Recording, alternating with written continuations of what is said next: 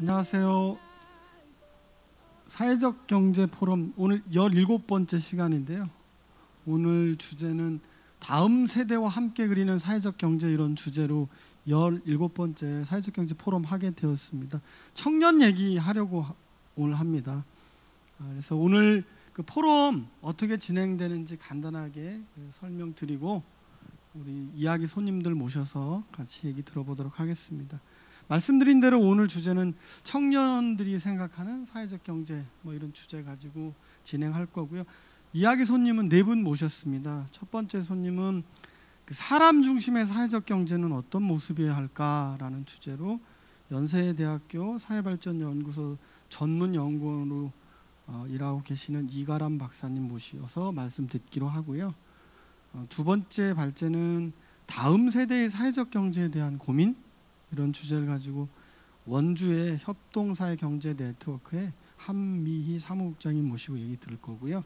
세 번째 순서는 사회적 경제 세대 간 연결의 중요성이라는 주제를 가지고 임팩트 얼라이언스의 전일주 기획 운영 팀장님 모셔서 얘기 들을 겁니다.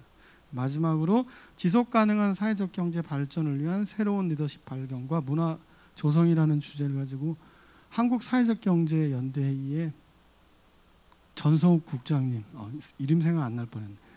네, 전성욱 국장님 모시고 얘기를 들을 겁니다. 네분 그 이야기 손님한테는 15분씩 시간을 드리려고 해요. 그래서 시간 맞춰서 말씀 종료하시면 또 나와가지고 뒤에 이렇게 자연스럽게 하고 끝나고 나면 그, 손, 그 이야기 손님들 앞으로 모시고 그다음에 저희가 한 1시간 정도 1시간 정도 이렇게 상호 토론도 가능하고 아니면 우리 플로어에서 조금 이런저런 얘기를 같이 더해 볼 수 있을 것 같아요. 제가 여러 군데 토론에 이렇게 참여했는데 거의 오늘이 처음인 것 같아요. 그 어떤 경험이 처음이냐면 사, 뭐 사회자 이런 거 빼고 발제자 빼고 무슨 인사 축사 이런 게 없더라고요. 그래서 이 취지는 아마 플로어에서 많은 얘기를 이렇게 하라 이런 취지 같아요.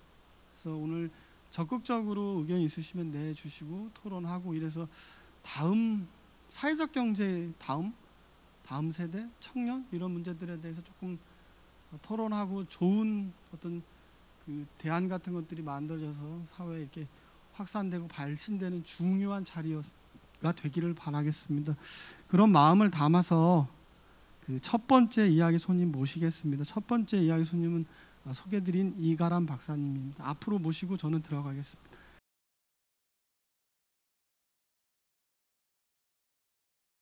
아, 네. 안녕하세요. 소개받은 이가람입니다. 네. 이제 사회학이라는 학문적인 배경을 바탕으로 해서 한국 사회의 맥락 안에서 한국 사회와 사회적 경제라고 하는 걸 커다란 이제 키워드로 놓고 연구를 하는 연구자입니다. 그래서 그런 맥락에서 사실은 이제 그 사회적 경제에서 이야기하는 사회적 가치, 사회성, 뭐가 사회적이냐라고 하는 것들에 대한 고민들을 좀 하고 있다 보니까 그런 이야기들을 조금 이제 저희가 실제 현장에서 일어나는 일들과 접목시킬 수 있는 질문들로 바꾸어 드릴 수 있는 역할을 저에게 좀 주신 게 아닌가 싶어서 그런 내용들 중심으로 같이 좀 말씀을 드리려고 합니다. 그래서 저희가 사회적 경제를 이야기하면 항상 사람 중심의 경제다라고 하는 말을 해왔고 그 이야기가 어떤 의미에서는 조금 굳어진 측면이 있는 것 같습니다. 그래서 사실은 여기서 이제 저의 첫 번째 질문을 드리고 싶은 건데요. 우리가 사람 중심이라고 했을 때 사람 말고, 그러니까 그 이전에 중심이 되었던 반대항에 무엇이 있었는가를 생각해 보면 많은 경우에 사실은 우리가 사람 중심이라고 얘기할 때 그 이전에 흔히 말하는 뭐 일반 영리 기업에서 자본이나 이윤 추구를 하는 것에 비해서 좀 더 이제 사람을 중심으로 한다라고 하는 이야기에서부터 이제 사회적 경제의 가치를 꾸준히 강조를 해 왔습니다. 그리고 그게 사회적 가치가 그 사회적 경제가 가지고 있는 굉장히 중요한 의미 중의 하나라고 볼 수 있는데요.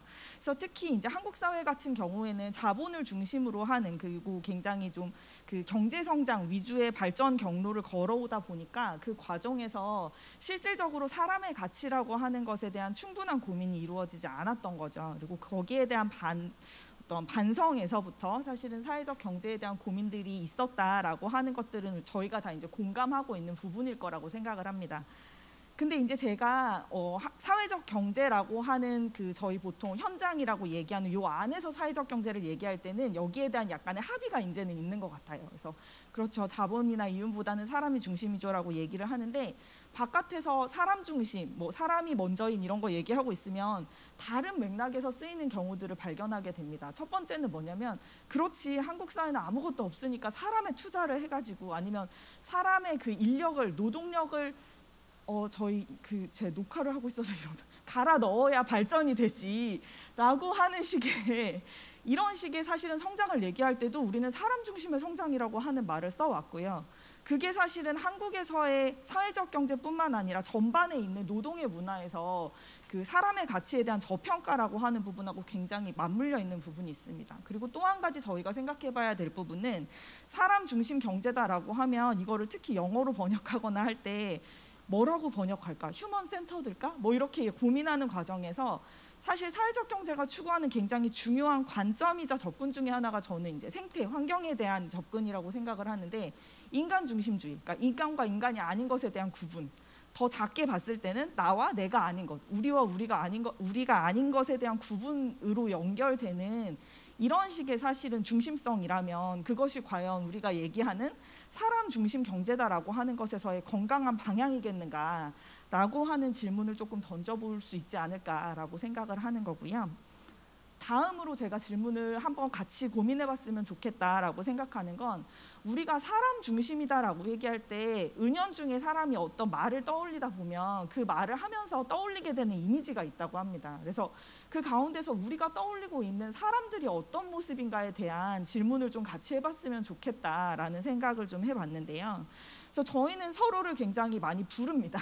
사회적 기업가라고도 부르고 change maker라고도 부르고 사회 혁신가라고도 부르고 사실 저희가 이제 세대에 대한 이야기를 하고 있지만 조금 이제 그 초창기부터 사회적 경제를 읽어오신 분들 사이에서는 이런 좀 영어가 섞여 있는 뭔가 이런 이름보다는 사실 동지라든지 뭐 이런 이름들이 익숙하실 수도 있고요. 실질적으로 사회적 경제를 하는 사람에 대해서 우리 경제 활동하는 사람은 경제인이라고 되게 쉽게 부르는데 사회적 경제 하는 사람에 대해서 사회적 경제인 이런 말들은 사실 익숙하진 않잖아요. 그래서 은연중에 그런 사람들을 우리가 서로 부르는 방식이 뭔가 활동가, 실무자 이런 식의 용어들이 좀 굳어진 것 같아요. 근데 그렇게 굳어지는 가운데서 사실은 어, 저희가 오늘 뭐 이제 다음 세대에 대한 이야기를 하지만 그 사람이라고 얘기할 때 우리가 쉽게 떠올리는 사람, 이 영역 바깥에 있는 사람들에 대한 포용성이라고 하는 관점하고 조금 연결해 볼 수 있지 않을까라는 생각을 해보게 되는 건데요. 예를 들어서 가치 소비를 하게 되는 소비자, 지속적인 관계를 맺는 게 아니라 그 중에서 이제 잠깐 왔다 갔다 하는 한 번의 경험을 통해서라도 일단 사회적 경제가 뭔지 접근이라도 하게 되는 사람들에 대해서 이렇게 상상하는 상상의 범주에서 우리가 어떻게 볼 수 있을까? 이런 생각들을 좀 해볼 수 있다는 거죠. 그래서 사실은 저는 이제 사회적 경제에 대해서 상상할 때 약간 이게 뭐 누군가 하는, 그러니까 좀 특별한 사람들이 하는, 그래서 아무나 할 수 없는 것이 아니라 사실 누구나의 경제가 되기를 희망하는 지향이 있다라고 좀 많이 생각을 하고 있는데 그렇게 봤을 때 우리가 과연 거기에 맞는 포용력이라고 하는 것들을 발휘할 수 있는 방식으로 서로를 상상하고 있는가? 라고 하는 부분이 있는 거죠. 그리고 사회적 경제를 얘기할 때 또 한 가지는 굉장히 착한 사람들, 이미 뭔가 자질이 갖추어진 사람들에 대한 기대가 좀 있는 것 같아요 서로에게. 그래서 아니 저 사람이 사회적 경제 한다는 사람이 어떻게 저럴 수가 있지 라고 생각하는 부분이 있는데 사실은 뭐 사회 어느 부분에서든 마찬가지겠지만 다 갖춰진 사람들만 모일 수는 없는 거잖아요. 그래서 사실은 사회학에서도 저희가 이제 이야기를 할 때 되어가는 경험, 그래서 뭔가 그 사회적 경제 활동 속에서 사람이 달라지는 사회화의 영역에 되게 초점을 많이 맞추고 있거든요. 근데 저는 지금 상, 한국 사회라고 하는 이 context 안에서 사회적 경제가 하려고 하는 굉장히 많은 실험들이 사실은 기존에 사회화되어 있던 상식들에 대해서 때로는 질문을 던지고 때로는 뒤집어 보면서 사실은 뭔가 좀 더 새로운 것들을 발견해 나가고 만들어 나가는 그래서 우리가 좀 이상적이라고 생각했던 삶을 함께 읽어가는 사람들로서 서로를 만들어가는 과정이다라고 좀 생각해 보면 어떨까라는 질문을 드리고 싶습니다. 네, 그래서 사실은 그 저희가 사회적 경제에 대해서 오늘 이야기를 하고 있지만 기본적으로 예전에 그러니까 그 이 사회적 경제를 중심으로 우리가 사람 중심, 그러니까 사람을 먼저 생각하는 사회적 경제의 모습에 대해서 고민을 하게 된 건 기존의 이 운동의 방식이라고 하는 것도 굉장히 많이 변화를 해 왔잖아요. 근데 그 운동의 방식이라고 하는 것의 변화, 한국 사회 전반의 변화, 그리고 사회적 경제라고 하는 요 그 현장의 변화라고 하는 것들의 속도라고 하는 문제를 저희가 좀 같이 생각해 볼 필요가 있다라는 관점에서 저는 속도에 대한 질문을 또 하나 드리고 싶은 건데요. 저 일단은 예전에 우리가 사회적 경제를 이끄는 힘이 뭐냐라고 하면 사람이 굉장히 귀하고 사람 간의 연대와 협력의 힘에 대해서 굉장히 많이 이야기를 했습니다. 지금도 그 이야기는 하고 있는데 문제는 그 다 같이 협동을 이야기할 때 예전에 우리가 가지고 있었던 전통적인 사회 운동에서의 그 협동이라고 하는 건 공통성을 기반으로 한 연대가 베이스가 되는 협동이었거든요. 근데 사실 지금 이제 사회적으로 강조되는 협동이라고 하는 거는 차이를 존중하는 협업에 가까운 것으로 이제 개념이 많이 달라졌죠. 그렇다 보니까 이제 뭐 개방형 혁신이라든지 아니면 뭐 이런 것들이 있고 사실은 이 사회의 변화와 사회적 경제의 변화라고 하는 게 함께 움직이고 있다라고 하는 거는 뭐 저희가 사회적 경제 안에서 주로 이야기해왔던 부분이에요. 일하는 사람의 권리, 인권, 그 다음에 뭐 다양성을 존중해야 된다, 차이를 품는 느슨한 형태의 연대 이런 것들을 계속 얘기했는데 그게 사실은 좀 더 이상적인 형태로 사회에서도 아 그렇지라고 하는 합의가 생겨나고 있는 거거든요. 그래서 사회적으로 봤을 땐 이게 좋은 일일 수 있는데 사회적 경제 입장에서 봤을 땐 사실은 그 사회적 경제라고 하는 새로운 실천을 돌려주는 원동력이었는데 그 원동력 자체가 기존과의 차이라고 하는 것이 점차 줄어들게 되면서 오히려 내적으로는 어 이게 뭔가 그 좀 더 외부에서 보는 사람들 입장에서 더 높은 도덕적 기준에 좀 부딪히게 된다든지 내부적으로도 이렇게 되어야 된다라고 막 쫓아가던 것이 막상 어느 정도 이루어지는 것 같았을 때 약간 내부적으로 조금 이제 혼란이 오게 되는 그런 시점이 아닌가라는 생각을 좀 저희가 해볼 수 있다는 겁니다. 네, 그래서 저희가 오늘 이제 큰 주제가 다음 세대인 건데 저는 이 질문을 가지고 이제 한참 고민을 하면서 그런 생각을 했어요. 이 다음 세대라고 하는 말이 사실은 지금 이 자리가 모이기까지의 문제 의식과 가장 직결되어 있는 워딩이 아닐까, 그 단어가 아닐까라는 생각이 들었는데 저는 어쨌거나 상대적으로 젊은 세대라고 분류가 되는 사람이에요. 근데 그런 사람 입장에서 다음 세대라 그러면 10대가 안 된 저의 아이들을 떠올리고 있다는 거죠. 근데 일반적으로 사회에서 다음 세대라고 하면 다들 청년을 떠올리는 거잖아요. 근데 청년을 떠올릴 때 그 저희 이제 호명의 주체라고 하는 다음 세대를 부르는 사람들은 누군가라고 했을 때 사회적 경제의 중심이 되는 여전히 약간 그 아 그 좀 더 젊은 20대 30대들의 사람을 우리의 다음 세대라고 부를 만한 그분들이 여전히 중심축에 있기 때문에 다음 세대라고 하는 호명이 나올 수 있는 거 아닌가라는 생각이 좀 도발적이지만 들었다는 거죠.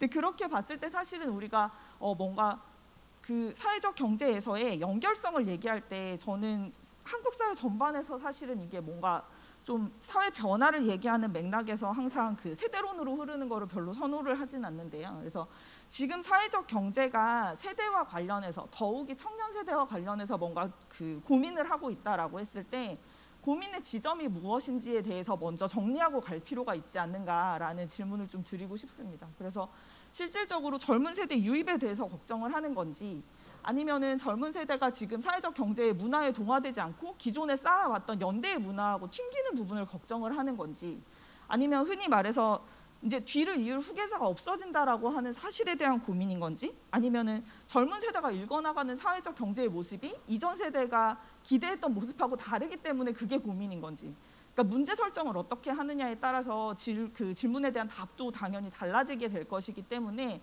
여기에 대한 고민들이 좀 필요하지 않은가라고 하는 거를 좀 말씀을 드리고 싶고요.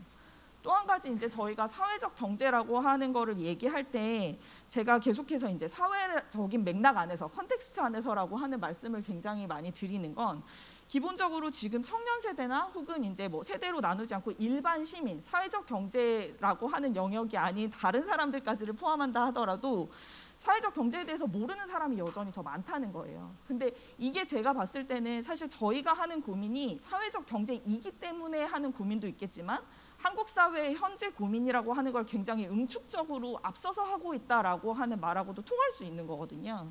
그래서 그 가능성에 대해서 저희가 조금 어, 떻게 보면 희망적으로 볼 수 있지 않을까라는 생각을 하고요. 그래서 저희 그 연대 회의에서도 활동가 공론장 분석도 하시고 막 이랬었더라고요. 그래서 그런 것들을 보면 사실 여기에서 이제 사회적 경제에 필요하다라고 하는 변화는 제가 관점에서 봤을 때는 사실은 한국 사회의 노동에 대한 저평가, 더욱이 경제와 직결되지 않았다고 여겨지는 사회적 활동에 대한 저평가도 굉장히 관련이 많이 있고요. 기본적으로 이제 앞으로 어떻게 할 것인가에 대한 새로운 질문들을 많이 던져주는 부분이 있다고 생각이 됩니다.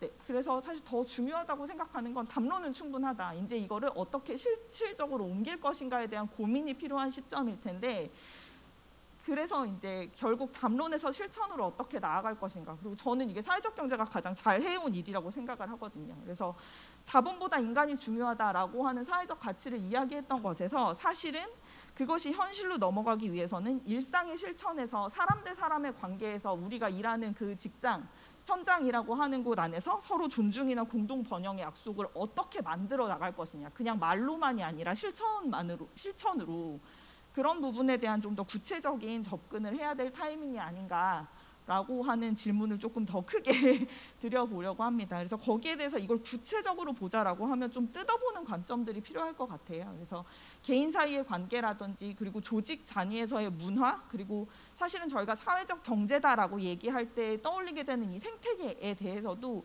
조금 이제 입체적인 차원에서의 고민들을 엮어가 보는 실천이 사실 오늘 자리에서부터 시작되면 좋겠다라는 바람으로 제 말씀을 마치려고 합니다. 네, 감사합니다.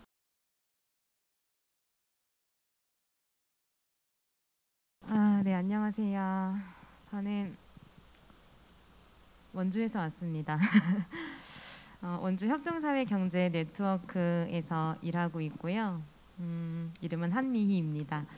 제가 최근에 일하면서 하고 있는 여러 가지의 고민들, 그것에 대한 이야기들, 예, 그리고 이따가 토론을 할 수 있는 시간에 함께 어, 이야기하는 그런 내용들이 저에게는 지금 제 시점에 제 인생에서도 예, 중요한 시간일 것 같고 예, 오늘 같은 주제를 준비하게 된 예, 그리고 참여하신 많은 분들께도 좀 의미 있는 시간이지 않을까 이런 생각을 하면서 네, 내용을 정리해 봤습니다. 네, 잠깐 들어가면서 원주 얘기를 네, 제가 원주에서 왔으니까 네, 혹시 원주 얘기가 좀 생소하신 분들도 있으실 수 있겠다라는 생각에 네, 짤막하게 들려드리려고 합니다. 네. 원주는 어, 1960년대부터 이제 민간에서 예, 중심이 돼서 시작한 협동조합 운동이 상당히 활발했던 네, 지역이었고요. 많이 알고 계시다시피 네, 우리 원주의 천주교 원주 교구 초대 교구장으로 부임하셨던 지학순 주교님 그리고 무의당 장일순 선생님께서 이제 중심이 되셔서 지역의 협동조합 운동을 네, 어, 진행하셨습니다. 그래서 그 당시에 이제 뭐 계기가 된 사건이라고 치면 네, 72년도에 남한강 대홍수로 인해서 그 재해 대책 운동 음, 위원회를 만들고 그 재해 대책 사업을 진행하는 과정에서 협동조합의 방식을 네, 그 각 시군과 지역 안에 네, 활동 1세대 활동가가 되시는 분들이 녹여내고 그 현장 안에서 같이 일하시면서 주민들이 자기들 자신들의 그런 터전을 새로 일구고 다시 만들어가는 작업들을 예, 협동조합의 방식으로 민간 주도의 방식으로 진행을 하면서 지역의 원주를 중심으로 강원도나 충북 또 그 당시에는 특히 광산 네, 노동자분들 또 함께 많은 협동조합들을 만들어 갔었고요. 그런 신협 신용협동조합 운동과 그리고 이제 한살림이 고장이죠 원주가 그래서 한살림 생협의 운동들이 이제 전국화되어간 역사가 있습니다. 그래서 어, 지금 저희 원주 협동사회 경제 네트워크 조직에 이제 고문님으로 계신 분들이 80대 네 되시는데요. 지금도 저희 네트워크 안에서 어떤 이야기를 나누는 자리가 있거나 하면 네 나오십니다. 나오셔서 함께 들어주시고 네, 의견도 말씀해 주시고 하십니다. 어, 그래서 지금 저희가 원주 원주 협동사회 경제 네트워크는 2003년에 출발을 했고요. 당시에 8개 조직이 모여서 어, 협동조합 간에 협동을 하면서 아, 우리가 정말 자본 거대 자본에 대항하는 대한 사회를 지역에서 만들어 가자라는 큰 꿈과 포부를 네, 내것이고 시작을 했었는데요. 지금은 어, 49개 조직 정도가 함께 네트워크에서 네, 같이 고민 나누고 또 협업도 하고 네, 지역의 이야기들 나누고 있고요.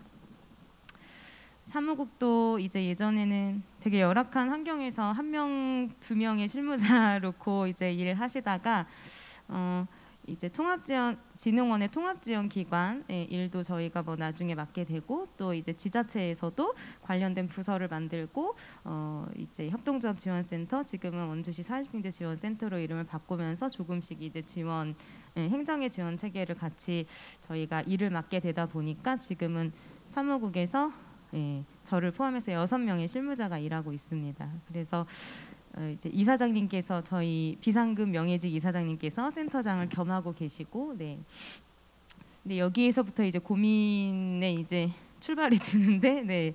이게 이제 제목은 다음 세대에 대한 고민이지만 저희 네트워크 안에서도 이제 고민하는 것은 여섯 명 실무자 중에 네 명이 예, 행정의 예산 지원을 받는 인력입니다.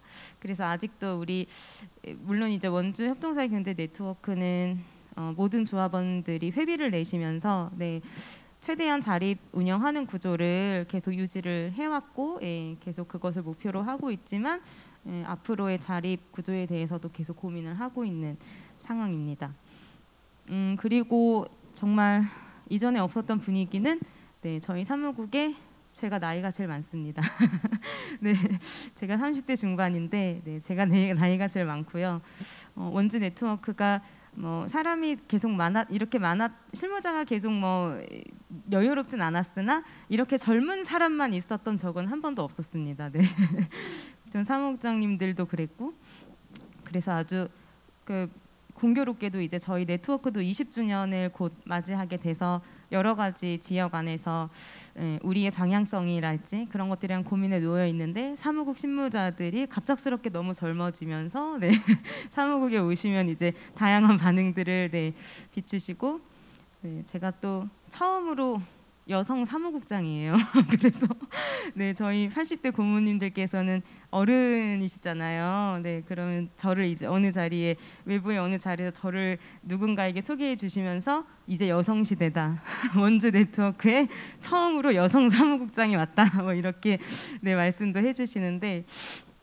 네, 그래서 저희 원주 내에서도 이런 우리 지역 안에서의 좀 나름 전환의 시점 내지는 어, 오늘 주제와 같은 예, 고민을 하고 있는 그런 시기인 것 같습니다. 그래서 제가 네, 준비하면서 우리는 왜 자꾸만 사, 다음 세대 사회적 경제 그러니까 우리 세대 사회적 경제에 대해서 고민하는가 이거에 대한 질문을 제 스스로 먼저 던져봤습니다. 그래서 어, 우리 세대가 바라본 사회적 경제의 모습은 어떨까? 음, 그리고 이전 세대는 이전 세대라고 말씀드리는 게 좀 죄송해요 한편으로. 선배님 세대는 네, 우리에게 어떤 비전들을 제시해 주셨을까.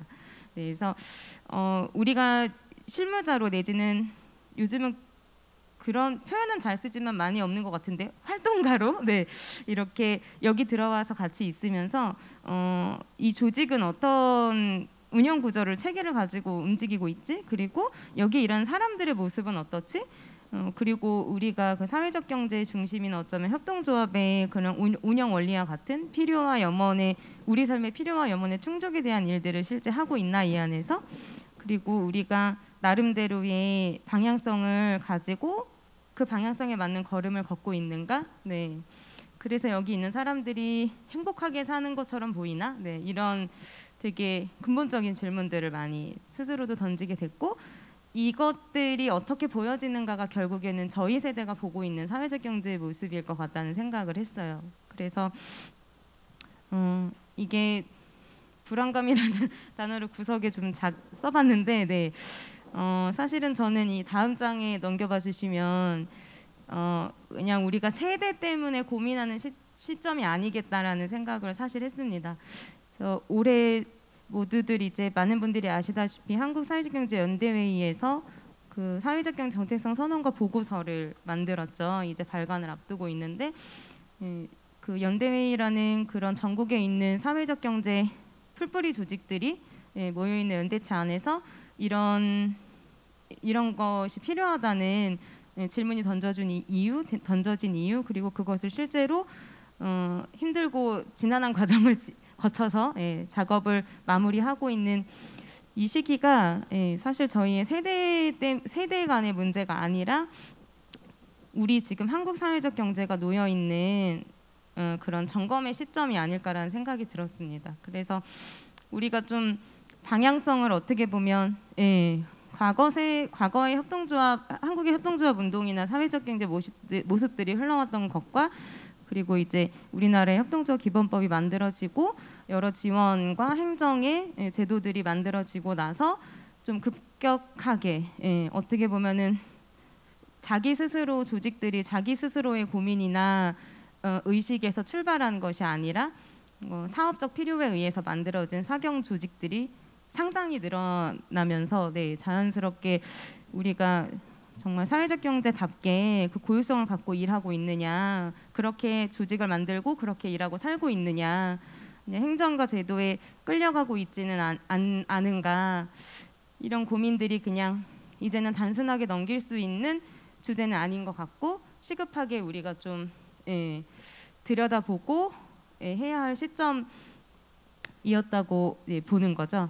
그런데 마침 저희 세대는 그 방향성을 잃어간 사이에 어, 그것을 다시 이제 길을 잘 찾아보자 한국 사회적 경제 정체성에 대해서 그거를 이제 좀 시작한 시기가 저희가 사회에 나와서 이제 사회생활을 하면서 예, 만난 사회적 경제인 것 같아요. 네. 그거보다 저희가 더 어릴 때 봤던 사회적 경제는 어쨌든 어떻게 봤다고 해도 저희가 직접 참여한 세대는 아니었을 거고, 네. 그 시점에 저희가 일하고 있지 않았나, 네. 그런 생각을 좀 해봤습니다.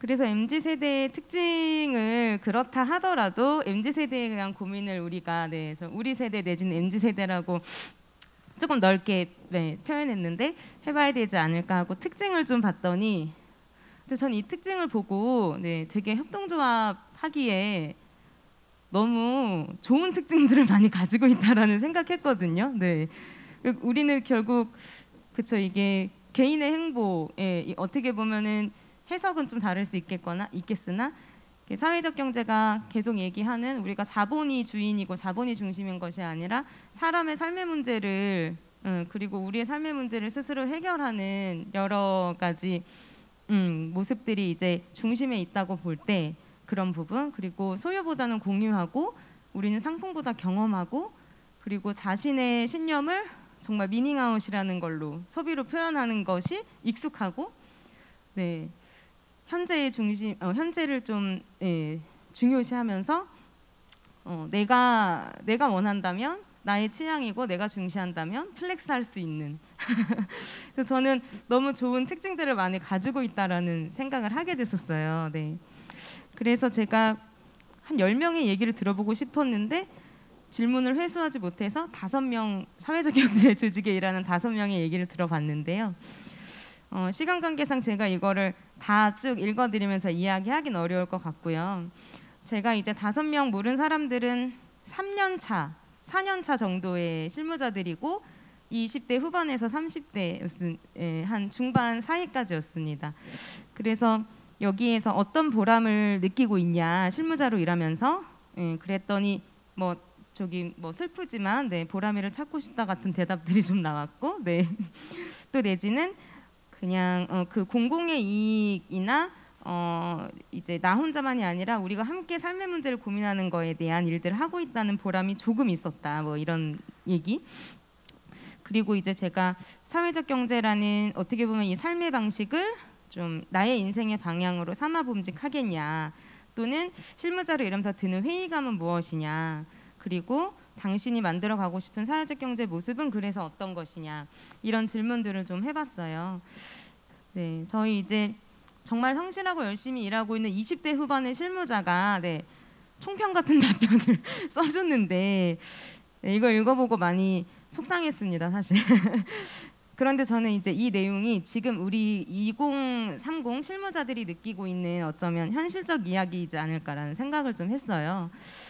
저희 사회적 경제 안에 일하고 있는 실무자들이 어 그게 이제 어떤 사회적 가치를 사회적 경제의 가치를 정확 명확하게 우리한테 좀 보여 우리가 경험할 수 있게 해준다던가 어, 어떤 비전을 좀 놓고 앞으로 가는 느낌을 받는다던가 내지는 보상이나 어, 그런 것들을 좀 명확하게 설정해 준다던가.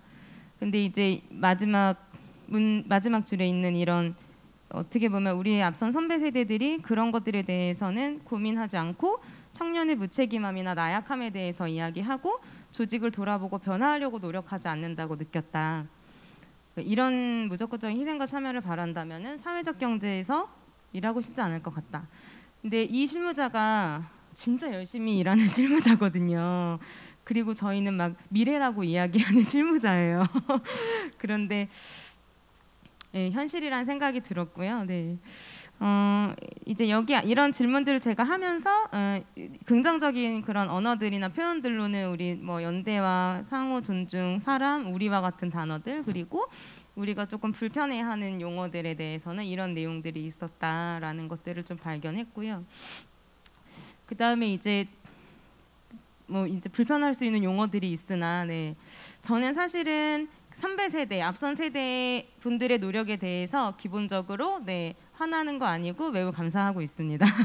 사실은 매우 감사하는데 어떻게 보면은 저는 우리가 그 이제 저희가 일하는 어떤 현장에서 많이 나오는 실제적으로 누가 뭐 해서 그만뒀더라 어떤 청년이 누가 뭐 해서 그, 그 일로 사건이 벌어졌다 내지는 이런 얘기들 할 때 상당히 내가 인격적으로 존중받지 못했다라는 예, 청년들의 얘기가 좀 심심치 않게 나오고 있는데 어, 저는 이제 저희보다 앞선 세대들은 저희가 이게 이 정도 인권 의식이 기본이지라고 생각하는 것들을 기본이 되게 하기 위해 노력해 주신 세대라고 생각해요. 그래서 그분들에게는 어, 어떻게 보면 좀 불합리하고 좀 괴로워도 참았던 사람들이 더 많았던 것 같고 그런 와중에도 열심히 그런 우리 사회 사회의 인권 의식에 대해서 음, 이야기해 주신 분들 덕분에 저희가 지금 사회에 나와서 실무자로 일하고 있는 지금은 이게 좀 보편적인 세대인 것 같아요.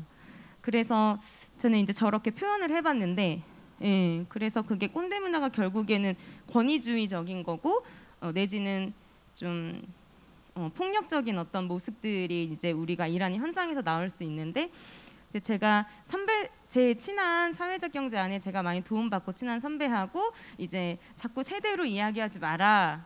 그러니까 저랑 세대로 갈라지기 싫은 거죠. 네. 근데 저도 그러기 싫은데 이제 제가 여러 가지 뭐 일화 같은 것들 얘기하면서 어. 뭐 이제 우리는 그렇지 않다. 나는 그렇지 않았다. 우리는 그렇지 않았다. 이렇게 자꾸 얘기하는데 이제 제가 어떤 예로 어, 그런 사례가 있었는데 그것을 긴 시간 방관하지 않았느냐. 그거를 긴 시간 알고 있으면서 그냥 두지 않았느냐. 그러니까 저는 우리는 그래도 그거에 대해서 불만이라고 말하기보다 방관하지 말아야 된다고 생각하고 방관하는 세대는 나는 되지 않고 싶다. 예. 그래서 저는 이제 이, 이런저런 얘기들을 좀 나눴었는데 그래서 사실 이거는 사회적 경제 안에서만의 문제는 아닌 것 같고 네 저희가 이제 지금 예, 어, 모든 영역에서 네, 이야기해야 되는 음, 부분이겠죠. 그래서 사실 사회적 경제가 사람 중심이라고 하다 보니 네, 돈을 그렇게 많이 버는 현장도 별로 없는데 인격까지 존중받지 못하니까 네, 네, 좀 더 그런 불만들에 대한 얘기가 어쩌면 정말 더 나오는 건가 이런 좀 고민도 하게 되고요. 그래서 상호 존중이라는 너무 기본적인 거를 기대하고 이야기해야 된다는 게 사실 조금 불편합니다. 이런 거는 좀 예, 어떻게 보면 음, 자연스럽게 좀 우리가 이제 더 이상은 다음 세대가 아니라 지금의 세대가 돼서 바꿔 나가야 하는 그런 모습 아닐까 생각하고요.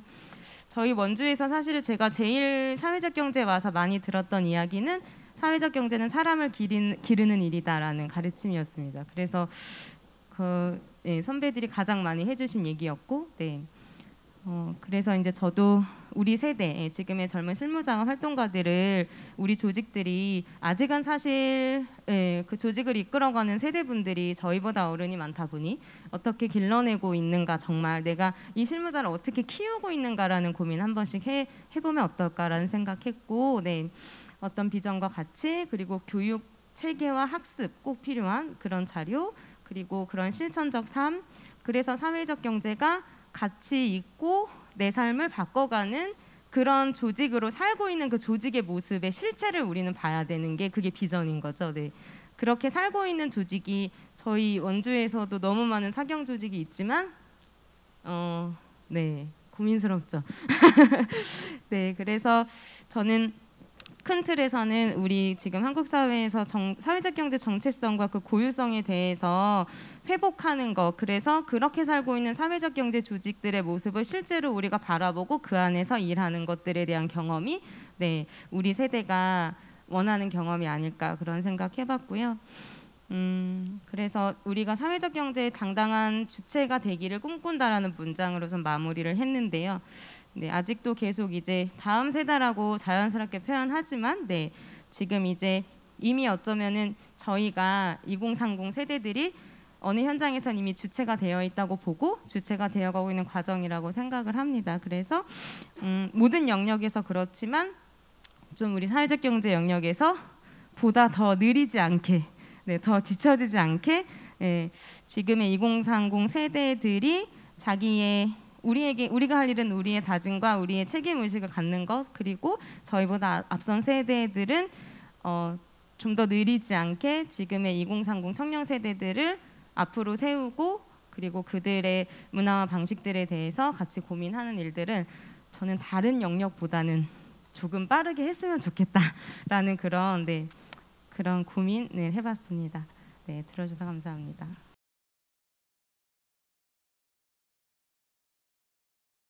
네 안녕하세요. 세 번째 발제를 맡은 임팩트 얼라이언스의 전일주라고 합니다. 반갑습니다. 네. 저는 사회적 경제, 경제 세대 간 연결의 중요성이라는 파트를 맡았는데요. 어, 일단 들어가기 전에 이 제가 이 제목을 보고 생각을 한 것이 중요성은 사실을 다들 알고 있지 않나. 연, 세대 간 연결의 중요성은 다들 알고 있는데 문제는 그 방법이라고 생각을 했습니다. 그래서 이걸 어떻게 해야 하는 것일까 문제를 어떻게 정의해야 될까라는 것에 조금 더 집중을 해서 얘기를 해봤으면 좋겠다라고 생각해서 그런 그런 방향으로 정리를 해봤고 어, 주로 저의 되게 개인적인 경험의 이야기입니다. 그래서 어, 이따가 또 말씀드리겠지만 어, 일단 개인적인 이야기로 네, 어, 이해를 해주시면 감사하겠습니다. 일단 본격적인 이야기를 하기에 앞서서 일단 제가 세대 문제라는 게 일단 받아 처음에 바, 이 주제를 받았을 때 아, 이게 굉장히 어려운 문제인데 아, 이 무슨 말을 해야 하지라는 걱정이 좀 들었고요. 또 그랬던 것이 이게 세대가 사실은 한국 사회 전체가 겪고 있는 문제고 대부분의 영역에서 사실은 이 소통이 실패하고 있다라고 저는 생각을 합니다. 그래서 이게 사회적 경제만의 문제는 아니어서 너무 우리 문제로 놓고 고민할 필요는 없겠다. 대신에 어, 이 좀 사회 전체가 가진 조건과 환경에 대해서 이해를 먼저 해야 그 다음에 사실은 어떻게 해야 할지 좀 방법을 찾을 수 있겠다라는 생각을 먼저 하게 됐고요. 그리고 또 하나는 한국의 특수성에 대해서 좀 얘기, 말씀을 드리고 싶은데 어, 우리가 만약에 어, 이런 사회적 경제가 아니라 다국적 기업에 대해서 이야기를 한다고 했을 때 뭐 한국에서 온 사람, 뭐 미국, 뭐 프랑스에서 온 사람이 같이 모여서 협, 협력하는 일을 논의한다고 했을 때는 당연히 아 이거 되게 어렵겠다. 서로 다른 환경에서 자랐으니까 협력이 굉장히 어렵겠지라는 인식을 당연히 깔고 가는데 사실 세대에 대해서는 그만한 생각을 잘 안 하게 되는 것 같아요. 우리가 다 한국 사람이니까. 근데 사실 생각해 보면 객관적으로 보면 거의 대한민국은 유일무이한 역사를 갖고 있는데 전 세계적으로 왜냐하면 좀 낯설긴 하지만 선 진국이라고 하니까 개발도상국에서 선진국으로 올라선 유일한 나라고 사실 사회 변화의 수준과 속도가 전 세계에서 가장 빠른 나라 중에 하나거든요.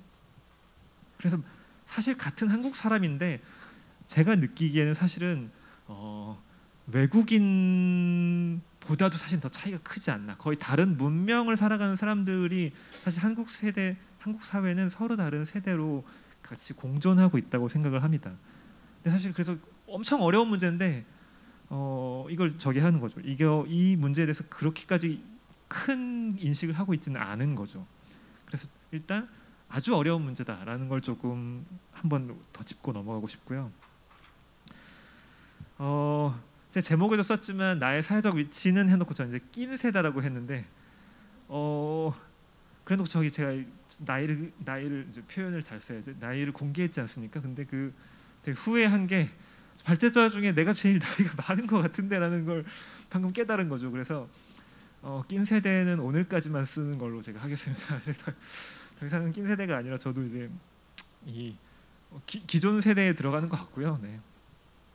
일단 저 제 소개 그러니까 제 저의 위치를 먼저 공유하게 되는 거는 저, 저의 관점이 왜 이제 그렇게 되는가를 좀 설명하려면 제 나이를 이야기할 수밖에 없더라고요. 그래서 일단 저는 지금 공공학번이고 한국 나이로 마흔인데 근데 공교롭게도 제가 스무 살까지는 딱 20년을 아날로그 시대를 살았고요. 20세기에 그리고 그 뒤에 20년은 이제 21세기 디지털 시대를 사는 사람입니다. 그래서 되게 사실 제, 제 개인적으로는 되게 딱 반반씩 갖고 있다고 생각을 하는데 그러다 보니까 이 제가 청소년기, 유년기를 보냈던 20세기의 어쨌든 가치관이 만들어졌기 때문에 가치관은 되게 공동체 지향적이고 아날로그인데 사회생활 시작은 사실은 딱 신자유주의 디지털로 시작을 해서 이 갭이 사실은 저한테는 항상 가지고 있다고 생각을 하고 가장 차이들을 보면 앞 세대의 철학은 이해하는데 현실적 선택은 되게 다를 수밖에 없고 근데 또 그럼 네가 이제 mz 세대냐라고 물어보면 사실 거기도 좀 머뭇거릴 수밖에 없는 게 분류는 그렇게 하시는데 사실 M에서도 제일 앞에 있어요. 80년대 초반이었고 그러니까 뒤에랑도 너무 멀어갖고 사실은 저도 이 여기 뭐 20, 30대라고 이제 하는 다음 세대랑 소통이 잘 되냐고 하면 사실 저도 잘 안 되는 것 같습니다. 그래서 저한테 물어보시면 사실 저기도 잘 모르겠지만 일단 네, 저는 그래서 이쪽과 저쪽에 일단은 끼어 있는 것 같다.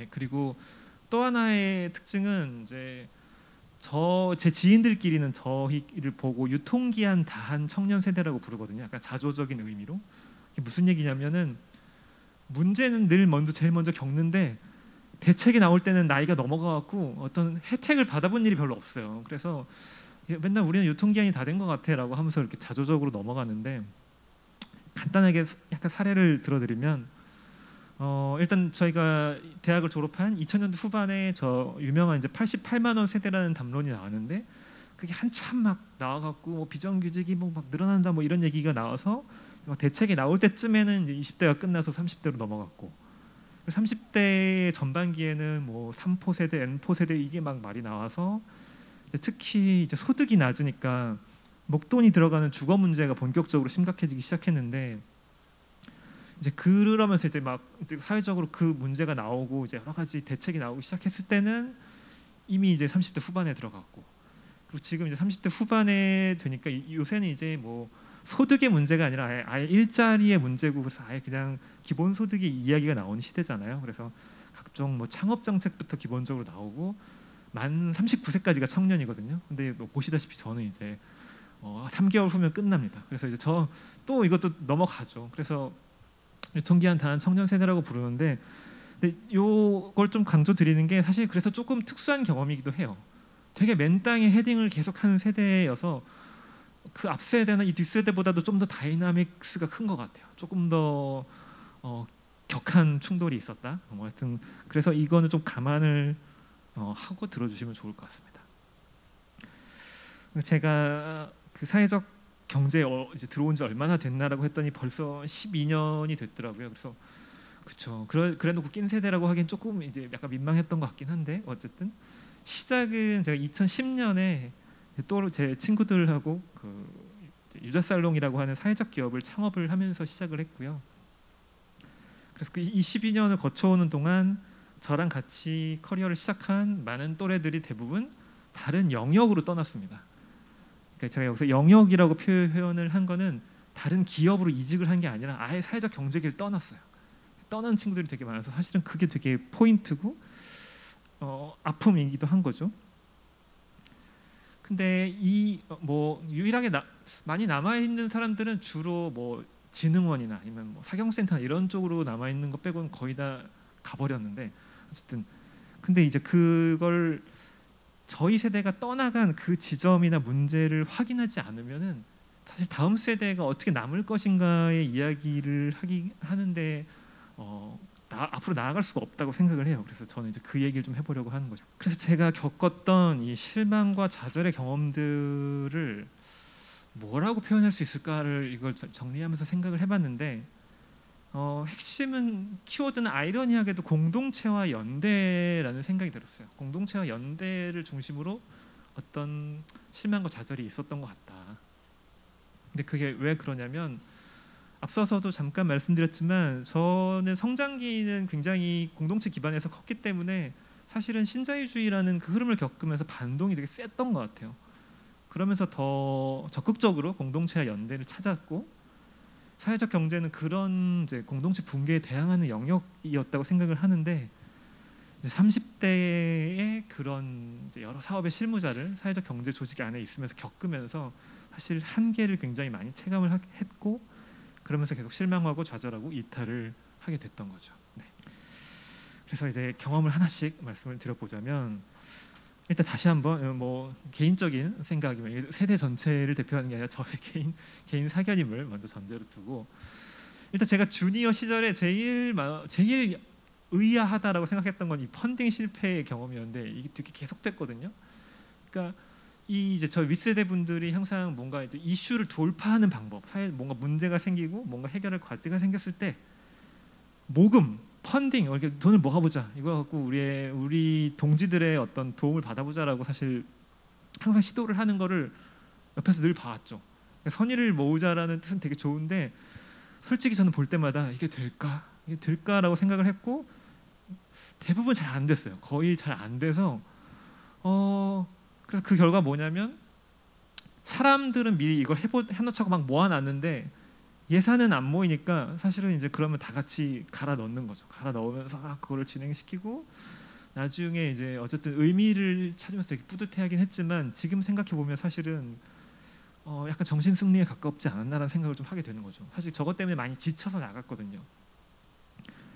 근데 그런 느낌이 든 거죠. 저거를 할 때 당시에는 아, 내가 보기엔 분명히 안 될 것 같은데 왜 자꾸 된다고 하시지?라고 생각을 했는데 그래서 이거 현실에 뭔가 자각이 좀 다른 것 같아라고 생각을 했는데 이걸 정리하면서 든 생각은 그런 거였어요. 아 저게 어쩌면 예전의 공동체 감각과 경제 경제 성장기에 사실은 이 뭐랄까 어, 그 세대가 가진 특징이랄까 사실 그런 걸 수도 있겠다. 그때는 저게 저런 식으로 해결을 해서 나가는 게 당연했을 수도 있는데 사실 지금은 바뀐 것 같은데라는 생각을 하면서 일단 실망이 좀 쌓였었고요. 이 마을 만들기가 또 또 굉장히 또 중요한 지점인데 어 일단 마을 만들기는 사회적 경제랑 뭐 조금 뭐 다르게 보시는 분들도 있지만 제가 봤을 때는 연결이 돼 있었습니다. 근데 일단 뭐 여기 있는 분들은 다들 아실 텐데 짧게 설명을 드리면 이제 어, 마을이 필요하다, 공동체 회복이 필요하다라는 이슈가 이제 대두되면서 어, 여러 가지 사업들이 나오고 그 사업에서 주로 공동체를 찾는 청년하고 그리고 그 마을에 있지만 젊은 젊은 인력이 필요했던 중장년층이 협력을 해서 같이 사업을 하는 구조들이 많이 진행이 됐었습니다. 그래서 그거 할 때는 되게 즐겁고 재밌게 했는데요. 문제는 이제 2년이 지나고 나서 이 재계약 시점이 온 때에 이제 그렇게 마을이 좀 뜨니까 이제 그 집주인분들이 이제 월세를 올려달라고 하시는 거죠. 그러니까 이제 약간 거기서 균열이 생기는 거죠. 청년들은 그 감당을 못해서 또 나 또 나가야 되는 거였고, 어 같은 공동체 같은 마을 주민인 줄 알았던데 우리는 아니었던 거예요. 어. 근데 뭐 이건 사실 뭐 이 이 그 이 사업에 있던 중장년 층들 중장년 분들이 올리신 건 아니지만 어쨌든 마을이 활성화가 되니까 약간 젠트리피케이션 같이 그렇게 되는 거죠. 근데 그 거기에 자가 주택을 갖고 있는 사람과 새를 살고 있는 사람은 여기서 사실은 균열이 생기고 그래서 어 사실은 굉장히 약간 표현을 조심스럽게 하지만 제 주변에 많은 또래들이 약간 배신감 비슷한 걸 많이 느꼈었어요. 저 당시에. 그리고 아니 그럼 사실은 그럼 같은 마을을 만들 거였으면 처음부터 기반을 나눠주고 했어야 되는 거 아닌가라는 이제 불만들이 나왔었던 거죠. 근데 그 물론 그거는 저는 현실적인 한계들이 있었다고 생각을 해요. 그래서 그 불만이 다 그게 해, 해답이라고 생각하지 않지만 저런 균열이 생겼고 그래서 또 하나의 시도는 청년들이 그러면 우리 우리끼리 자체적인 마을을 만들어 보자라고 해서 뭐 기억나는 거는 저 남산 아래 해방촌인가 거기서도 막 전세 같은 거 몇 개 건물 얻어서 마을 만들기들을 했었는데 다 결국은 밀려났습니다. 다 그 월세가 오르면서 사실 앞에 제가 한번 제 세대의 특징을 말씀드렸지만 그게 저희의 이슈기도 했어요. 목돈이 모자르면서 거주의 문제가 생기는 게. 그리고 이거 협동조합 이거 이거 되게 조심스러운데 제가 협동조합 전체를 이렇게 뭐라고 하는 게 아니라 이제 저 시절이 있었어요. 그 제가 기억이 안 나는데 서울시였는지 기재부였는지 하여튼 협동조합을 엄청 밀던 시절이 있었어요. 뭐 다섯 명만 모이면 누구나 협동조합 만들 수 있다 그래서 막 권장하던 시절이 있었는데 그때 그래서 제 주변에 친구들이 많이 또 거기에 들어갔거든요. 근데 협동조합을 하려고 해보니까 어, 공, 협동이라는 게 그렇더라고요. 뭔가 공유하는 기반이 있어야 협동을 할 수 있는데 청년들이 기반이 없는 거예요. 그래서 이렇게 나중에 보니까 오히려 약간 기반 없는 사람들끼리 뭉쳐서 우리끼리 뭘 해보자 약간 이런 구도가 됐는데 협동이 안 되죠. 당연히 실패를 하는데 왜냐하면 기반이 없으면 모이는 것 자체가 이미 비용이 들거든요. 거기서 이미 노력과 비용이 드니까 어, 이 지속 가능성이 안 되는 거죠. 그래서 여기서 또 되게 많은 친구들이 허상을 느끼고 네, 떠나갔습니다. 근데 이제 그 경험을 생각해 보면 약간 이제 사실 생협 같은 것들이 또 은근히 살펴보면 그런 부분들이 드러나는데 사실 생협의 이용자 분들이 주로 다 중산층인 이유는 뭐 여러 가지가 있겠지만 뭐 이를테면 저런 거죠. 매장 근처에서 안정적 주거가 가능한 건 사실은 어느 정도의 경제적 계층이 필요한 거고 또 무언가를 사다가 조리를 해 먹을 수 있는 것도 사실은 그 정도의 경제적 여유가 있어야 가능하거든요. 그래서 어, 협동조합 같은 경우도 어쨌든 기반이 없는 청년층들에게는 어떤 벽으로 좀 다가왔던 경험이 있었던 거죠. 그 장렬한 폐업 이건 이제 제, 제 얘기인데 어, 그래서 그러면 그런 거 말고 사회적 기업을 만들어 보자. 정확하게는 이제 돈도 벌면서 이상적인 조직 문화를 추구해 보자라고 했으나 실제로 해보니까 되게 노동력 중심의 저임금 영역에서 생존을 위해 과로를 맨날 하다가 어느 날 보니까 조직 문화는커녕 만나서 밥 먹고 이야기할 시간도 없다는 걸 깨닫고 이건 아니다라고 하고 그냥 해체를 했던 거죠. 네. 네, 그래서 이런 경험들이 쌓이면서 일단 경제적 기반이 없는 그 공동체 연대 가지는 그 한계를 되게 많이 느꼈고 그래서 아까 말한 제 친구들이 어, 본능적으로 성장 가능한 일이 있는 곳들을 많이 떠나갔어요. 이 경험을 하고 아 좋지만 성장이 있어야 되는구나. 그리고 사실은 그 중에 일부가 떠나간 일부가 사실은 사회적 미션을 여전히 가지고 어, 대신에 성장에 집중해서 만들어낸 게 지금 제가 몸담고 있는 소셜 벤처 쪽이 아닐까라는 생각을 하고요. 네, 그래서 정리를 좀 해보면 어, 그렇습니다. 일단 어, 이제 지금의 시대가 20세기 공동체라고 하는 뭐 전형적인 20세기 공동체들이 사실 해체가 큰 사회적 흐름인데 마을, 뭐 학교, 뭐 기업 이런 것들. 근데 이걸 다시 회복하는 것이 사회적 경제의 지향이고 근데 이제 흐름은 이렇게 가는데 사회적 경제는 이렇게 가니까 가운데서 어, 정면 충돌을 하면서 사실은 그 사이에서 청년들이 튕겨져 나갔던 거 아닌가라는 생각을 하게 됐고요. 그러면 그리고 또 하나 이제 저이 이 본격적으로 말하는 이 다음 세대라는 걸 같이 좀 연결해서 보면 그래도 저희는 80년대생들은 그나마 공동체의 경험에 대한 기반은 같이 갖고 있었는데 이 세대는 어, 공동체 경험 자체가 완전히 다른 거죠.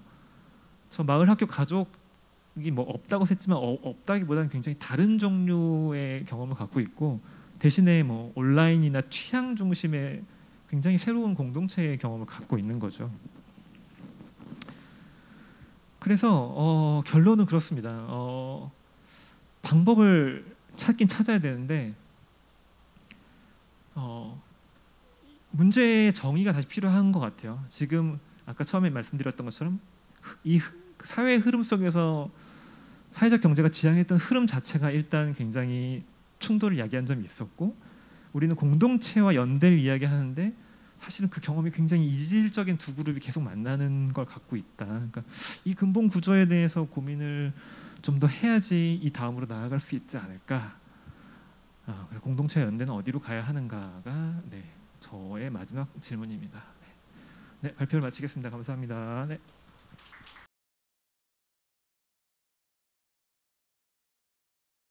네, 안녕하세요. 오늘 마지막 발제 맡은 한국 사회적 경제연대의 전성욱이라고 합니다. 어, 사실 제가 발제 주제를 맡고서 아, 주제가 너무 크다. 이거 내가 뭐라고 할 수 있을까라고 고민을 하다가 일단 잘게 쪼개봤습니다. 그래서 먼저 사회적 경제는 지속 가능한가에 대해서 이야기를 하고 싶었는데요. 여기서 지속 가능한가라는 질문이 정말 뭐 SDGs에서 말하는 그런 서스테이너빌리티는 아닌 것 같고 미래 세대까지 계속 유지가 될 수 있는가 뭐 그러려면은 청년 세대의 유입이 가능한가 정도로 이해를 하는 게 적합하지 않을까 생각을 했습니다. 그렇다면 사회적 경제로 젊은 사람들이 원활하게 유입하려면은 사회적 경제가 어떤 모습이어야 되는가 그 지점에 대해서 이야기를 해보려고 하는데요. 네, 그 사람인에서 조사한 기피하는 기업 유형이고요. 그리고 선호하는 기업 유형입니다. 네, 뭐 전체적으로는 연봉도 당연히 중요하지만 어, 기업 문화가 유연해야 되고 휴가 사용의 자율성 이런 뭐 워라벨 같은 이야기 좀 많이 나오는 것 같습니다. 어, 선호 기업이나 비선호 기업에 대해서는 뒤에서 다시 더 이야기 나눠보도록 하겠고요. 네, 두 번째 관점, 그러니까 첫 번째는 이제 노동의 관점이었다면은 지금 말씀드리는 관점은 이제 자아 실현 그리고 비전 제공의 관점이라고 이야기를 하는데요. 이제 뭐 인터넷 막 찾아보다 보니까 M, 저도 MZ 세대가 뭔지 잘 모르겠더라고요. 인터넷 막 찾아보다 보니까 꼭 좋은 직장이 돈 많이 준 데만은 아니다라는 이야기도 많이 볼 수 있었습니다. 자료를 조사하면서 연봉이 줄더라도 가치를 추구하는 삶을 살고자 하는 청년들의 모습을 많이 볼 수 있었고요. 어, 이러한 경향성은 이제 어, 딜로이트에서 진행한 통계에도 나왔는데요. 이제 개인의 신념에 따라서 직업과 직장을 선택하는 사람들도 있다. 라고 하고요. 그리고 이건 또 해외에서 조사한 결과인데 사회적 전략 또는 사회 가치 창출이 많은 기업의 직원은 참여, 결합, 근속, 사기가 오른다. 그러니까 즉 MZ 세대도 어쩌면 사회적 가치를 추구하는 사람이 최소한 40% 정도는 있다. 뭐 이렇게 이해가 됐습니다. 음, 앞서서 이제 말씀드린 제가 그 두 개로 나눠서 말씀드렸는데요. 그리고 맨 처음에 말씀드린 선호 비선호 기업에 대한 정보를 토대로 한번 이야기해 보자면은 어, 전반적으로 노동 환경 개선도 중요하지만 그렇죠 너무나 중요하죠. 하지만 그게 다는 아니다. 우리 스스로 비전과 가치를 전달하는 일이 더 중요할 수 있다라고 생각합니다. 어, 어떤 의미냐면요. 어, 문화예술계 제가 예전에는 이제 문화예술 쪽에서도 잠깐 일을 했었는데 거기 보면은 거기 있는 친구들 정말 열악하게 일해요. 뭐 밤새는 건 당연한 거고 돈도 제대로 못 받고 근데도 여전히 지금 한 10년이 지난데도 여전히 되게 열정적으로 일하거든요. 그 사람들의 원동력은 어디에 있는 것일까? 어쩌면 사회적 경제가 그저 매력이 없는 게 아닐까? 그럼 매력이 있으려면 어떻게 해야 될까에 대한 고민을 하게 됐습니다. 어, 사회적 경제가 저희 사회에 그런 메시지를 잘 발신하지 못하고 있는 것 같아요. 우리가 사회 혁신 세력이다. 뭐 또는 아까 말씀하신 것처럼 뭐 change maker다. 우리가 세상을 바꿀 사람들이다 라는 메시지를 잘 발송하지 못하고 있는 것 같아요. 어, 그나마 가장 잘하고 있는 게 social venture가 아닐까 싶기도 하고 그래서 많은 관심이 그쪽으로 모이고 있는 게 아닐까 그렇게 생각합니다. 정리해서 다시 한번 말씀드려 보자면은 사회적 경제 노동 환경을 개선하는 것도 물론 중요하지만 그보다 앞서서 매력적인 존재가 돼야 되고 여태 해온 것처럼 뭐 취약계층에게 일자리를 제공하겠다, 사회 서비스 하겠다 이런 것만으로는 어, 이제 젊은 친구들이 새로 유입되기에는 조금 부족하지 않나. 우리 스스로 사회 혁신을 하는 세력이다라는 인식을 좀 갖고 좀 더 적극적인 그런 걸 해야 되지 않을까. 그 청년들에게 그 사회적 경제를 팔아야 되지 않을까라는 생각을 해봅니다. 어, 이제 두 번째 주제인데요. 사회적 경제를 위한 이제 리더상 그리고 문화 조성에 대해서 좀 말씀드려보려고 합니다. 사회적 경제 저기 보시면 나와 있지만 기업, 네트워크 조직, 중간 지원 조직, 연구 조직 당사자들이 너무 많죠. 그래서 일평 확률적으로 어떤 문화가 필요하다, 어떤 리더가 필요하다라는 것 좀 말씀드리기 어려울 것 같아요. 그리고 아까 이그람 박사님께서도 말씀해 주셨는데 뭐 활동가도 있고 소비자도 있고 한데 아, 너무 크더라고요. 하지만 누구도 거부할 수 없는 이제 문화와 리더십을 한번 이야기해 보자면은 첫 번째로 어, 사람 중심 그리고 민주주의의 가치가 잘 실현되는 문화 그리고 리더십으로는 저희가 이제 미션 아니면 가치 지향적이고 사회적 경제가 미션 중심적이라고 한다면은 조직원들에게 그런 가치와 미션을 잘 전달하는 리더가 필요하지 않을까. 그 두 가지는 누구도 거, 어, 틀렸다라고 할 수 없는 최소한의 뭔가 동의가 된 부분이 아닐까 생각합니다. 네, 먼저 문화 조성에 대해서 이야기해 보겠습니다. 어, 문화 조성 이야기하기 전에 먼저 한번 가정을 해보죠. 상상을 해보겠습니다. 가상의 인물 A가 있습니다. 이 사람은 사회적 경제 기업의 대표기도 하고 어, 뭐 지역에서 사회적 경제 뭐 네트워크 조직도 만들어서 회장도 하고 있고 뭐 전국 단위 네트워크에서 뭐 어디 이사회에도 소속돼 있고 뭐 그렇게 한번 가정을 해봅시다. 근데 이 사람이 어, 한 가지 문제가 있다면은 다혈질입니다. 지역에서 취약계층을 고용 엄청 많이 하고 있는데 그냥 다혈질인 사람인 거예요. 그래서 그냥 자기 기분에 안 내키면은 막 화도 내고 성질도 부리고 그런 사람이 있다고 한번 생각을 해봅시다. 그런 사람들이 대표로 인정을 받고 어디 나가서 그러한 뭐 자기 마음대로 하는 행동들을 할 때 과연 저희의 소비자들이 사회적 경제가 정말 다른 영역과 다르다라고 인식을 해줄까? 저는 그렇지 않을 거라고 생각합니다. 또한 사회적 경제 뭐 호혜 소 뭐 호혜적 경제라고도 하고 가치 소비를 한다고도 하는데요. 저는 우리의 가장 큰 소비자는 우리 스스로라고 생각합니다. 관계 관계 소비에 저희가 기반하고 있다고 생각하는데 우리 안에서 협동과 연대가 약해지는 그런 일들이 발생한다면은 그건 저희의 위기다라고 생각합니다. 또한 앞, 그 앞서 말씀드렸다시피 M 세대에서 44% 그리고 Z 세대에서 49%가 신념에 따라 직업과 직장을 선택한다고 했습니다. 이제 기존 영역의 기업과 다른 문화를 기대하고 들어온 그리고 사회적 경제의 가치에 동의하고 그 신념에 동화돼서 이 영역에 온 종사자들도 그런 모습을 볼 때 저는 남아있기 힘들 거라고 생각합니다. 앞서 말씀드린 것처럼 MZ 세대가 선호하는 기업 유형이 가장 첫 번째가 자유롭고 수평적인 소통의 문화를 가진 기업이었다는 것을 기억하면 좋겠고요. 사회적 경제가 지속 가능하기 위해서 우리의 생존을 위해서 우리 스스로 반성하고 우리 안의 문제를 드러내고 자정작용이 끊임없이 일어나는 그런 문화가 조성돼야 될 거라고 생각합니다. 두 번째 이제 리더십 이야기 말씀드리려고 하는데요. 또, 또 똑같은 이야기입니다. 그 44%와 49%가 개인의 신념에 따라 직업을 선택했다고 했는데요. 그러면은 이제 개인의 신념이 조직 안에서 잘 실현이 돼야겠죠. 그런 사람들이 남으려면 개인의 신념이 잘 실현되려면 개인의 미션과 가치가 조직 내에서 잘 실현돼야 되고 그렇기 때문에 구성원들의 다양한 관점을 통합해서 공동의 목적을 갖고 하나의 팀으로 일하게 하는 그런 리더십이 필요하다고 생각합니다. 이거를 뭐 진정성 있는 리더십이라고 이야기하고 싶은데요. 진정성 있는 리더십을 통해서 상호 신뢰관계 속에 각자의 가치와 신념을 공개하고 실천해 나가고 공동의 목적 아래 개인의 신념이 성취되어 나갈 거라고 생각합니다. 그 속에서 조직원들이 인파워먼트도 일어나고 어, 자기의 가치가 실현될 수 있다라는 믿음을 갖게 된다면은 이제 스스로 역량과 신념이 점점 더 강해질 거다라고 생각합니다. 근데 단 한 가지 종류의 리더십만이 존재한다고는 생각하지 않는데요.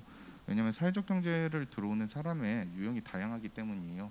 방금 말씀드린 거는 이제 정말 신념을 갖고 들어온 사람의 이야기였다면은 사회적 경제를 하나의 일자리로 들어오는 사람도 있을 거라고 생각합니다. 그 경우에는 조금 다른 리더십이 필요하다고 생각하는데 어, 변혁적 리더십이 필요하지 않을까 제안드려 봅니다. 사회적 경제의 신념을 갖고 그러니까 네. 그 장기적 관점을 중시하면서 변혁적 리더십은 장기적 관점을 중시하면서 직원들에게 지적 자극을 제공하고 다양한 활동의 시도들과 창조적 실험을 할 수 있도록 격려를 하는 리더십이라고 하는데요. 어, 그럼 직장 안에서 자기가 다양한 사회 혁신 활동들을 실험해 나가면서 이제 어, 자기 그런 활동의 축적이 스스로를 사회 혁신가라고 믿게 만들고 나아가서는 사회적 경제에서 지향하는 가치 속에 자기 활동에 대한 신념이 녹아들 수 있도록 하는 그런 리더십이 변혁적 리더십이라고 생각합니다. 그래서 정리해 보자면은 진정한 리더, 진정성 리더십과 변혁적 리더십 이렇게 두 개로 사회적 경제와 개인을 동화시켜 나가고 신념을 가지고 들어온 사람들이 남을 수 있는 리더십이 필요하다고 생각합니다. 원래는 저에게 정책적 제안도 부탁을 하셨었어요. 그래가지고 이제 정책적 제안을 좀 적어봤는데요. 다른 거는 좀 뭐 넘어가도 되겠지만 아까 말씀드린 그 일자리 창출과 사회 서비스 제공에서 사회 혁신으로 좀 바뀌었으면 좋겠다. 뭐 나머지는 사회 혁신 실험이 좀 자유롭게 일어나고 공동체 노, 공동체 노동에 대해서 보충성 원칙에 따라서 지원을 좀 해줬으면 좋겠다. 이런 내용들 적어봤습니다. 어 이제 마지막인데요. 발제를 준비하면서 어, 고민의 깊이가 더욱 깊어질 수 있는 좋은 시간이었습니다. 이게 어, 고민이 많아가지고 발제를 하는 게 아니라 발제를 하면서 고민이 깊어졌고요. 이제 근데 그 중에서 가장 어, 느끼는 바가 있었던 게요.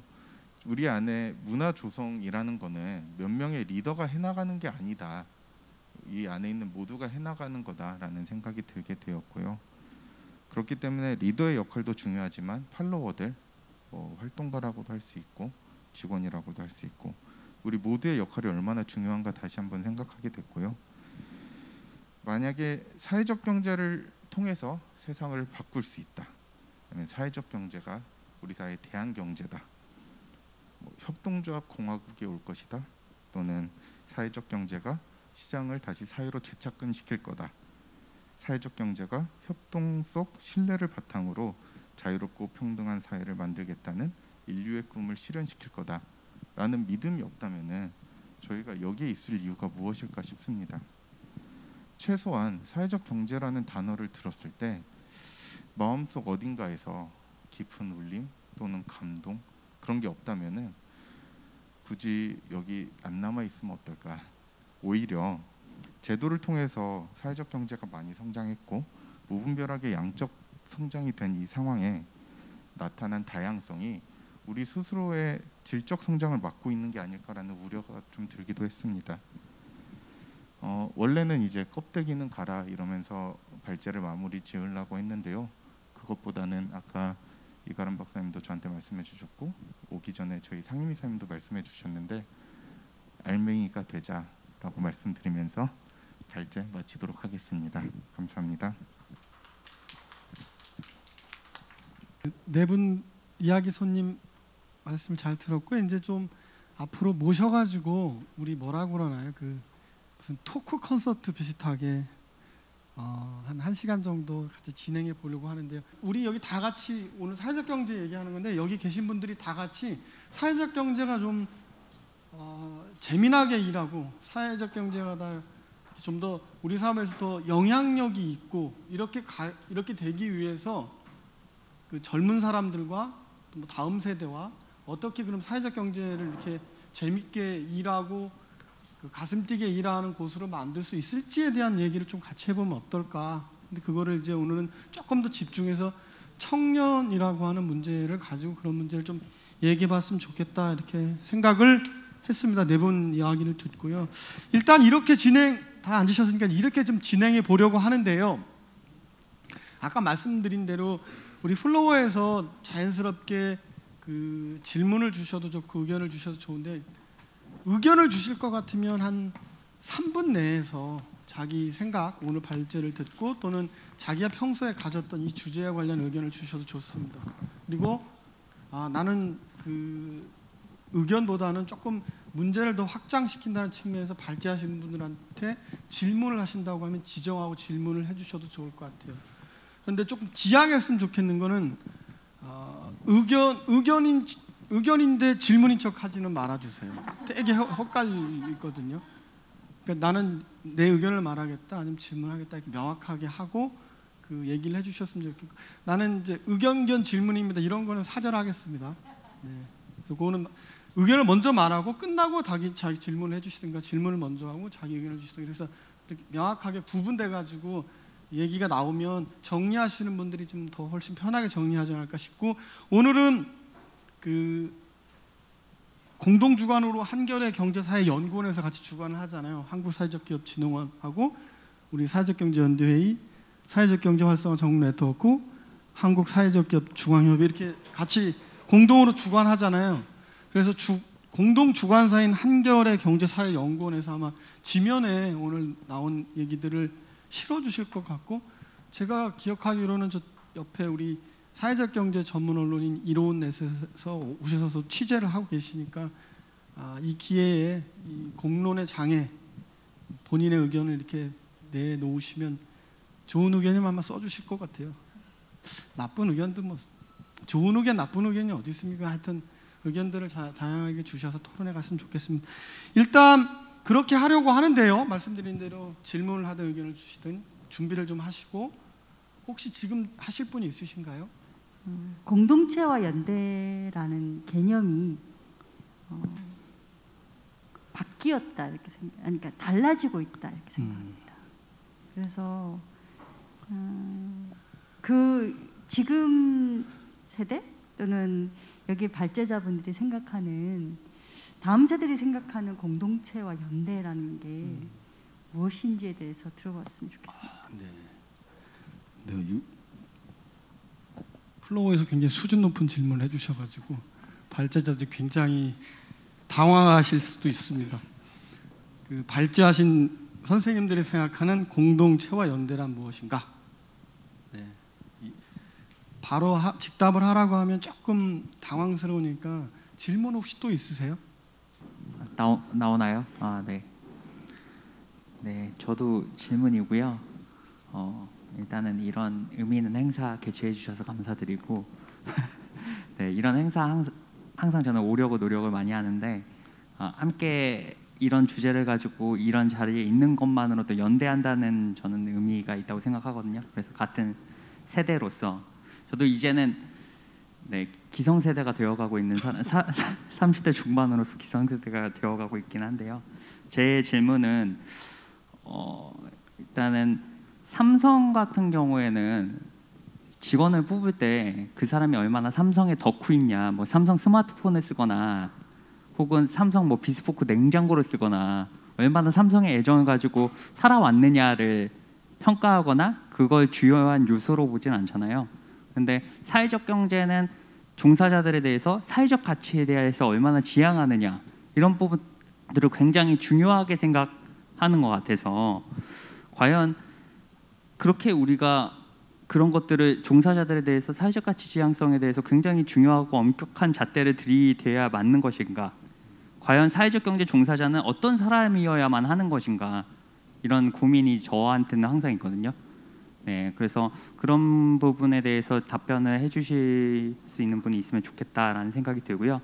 두 번째 질문은 어, 지금 굉장히 시대가 다르고 세대가 다르고 경험이 다르다고 말씀을 해주셨는데 어, 저도 조직 안에서 그렇게 많은 경험을 하고 있, 있습니다. 최근에 저도 이제 네, 어, 신나는 조합에서 근무하고 있는데요. 저희 30명이 넘는 직원 중에서 저보다 젊은 직원이 이제는 20 그 20대 뭐 30대 초반에 젊은 직원들이 이제 한 20명 가까이 되고 저도 어느 순간 이제 나이가 많은 네, 선배가 되어가고 있는 상황인데요. 어, 이렇게 변화하는 시대에서 과연 리더십의 모습은 어떻게 변화해야 하는가? 과연 우리 이 영역에 그러한 변화하는 선배로서의 리더들이 있는가에 대해서 사실 고민이 많이 돼요.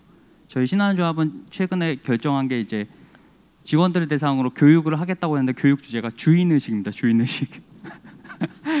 요즘 세대들이 들으면은 정말 기가 찬 주제인데, 네 얼마나 조직의 주인 의식을 갖고 일하느냐 이 주제를 가지고 교육을 한다고 하더라고요. 그래서 과연 예, 세, 어떻게 변화해야 되고 이 영역의 리더들은 변화해야 되고 네, 그런 리더들은 있는가 과연 네, 이 질문 드리고 싶습니다. 이상입니다. 두 분이 세 개의 질문을 주셨어요. 첫 번째, 아, 우리 발제자들이 생각하는 공동체와 연대라고 하는 것은 어떻게 생각하시는지. 그리고는 각각 한 분이 1분 정도씩 잘 정리해서 말씀을 해주시고요. 두 번째 질문은 사회적 경제이라는 뭐 활동과 또는 종사자에게 필요한 역량 같은 것들은 무엇으로 말할 수 있냐. 역량 그러면 보이는 역량하고 보이지 않는 역량이 있다고 그러잖아요. 그 중에 뭐 지식, 기술, 태도 같은 것들을 보통 역량이라고 얘기하는데 사회적 경제가 추구하려고 하는 미션이나 비전을 실행해 나갈 때 거기에 필요한 종사자들에게 필요한 역량이라는 걸 도대체 우리가 무엇으로 말할 수 있는가? 이것도 한 분씩 그냥 다 얘기를 다 들어보겠습니다. 1분씩.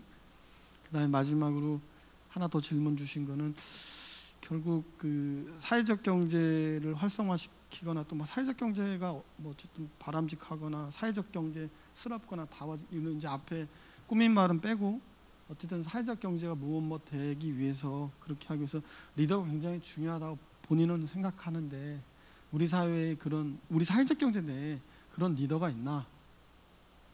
어, 없다면 만들어야 되고 어, 또 어, 그런 어떤 리더가 만들어져야 하나 그래서 리더 사회적 경제에서 일하는 리더의 리더십이라고 하는 것을 우리가 어떻게 정의하고 훌륭한 리더들을 같이 만들어 나갈 수 있을까 라고 하는 이런 질문 세 가지를 주신 것 같아요. 그래서 이것도 1분씩 그 드리겠습니다. 그러면 가, 각각 그 3분씩 발언할 수 있게 이렇게 말씀드리고요.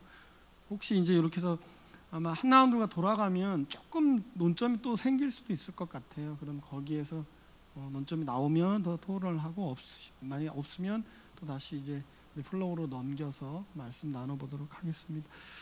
아, 순서는 어떻게 할까요? 그냥 우리 이, 이가람 선생님부터 할까요?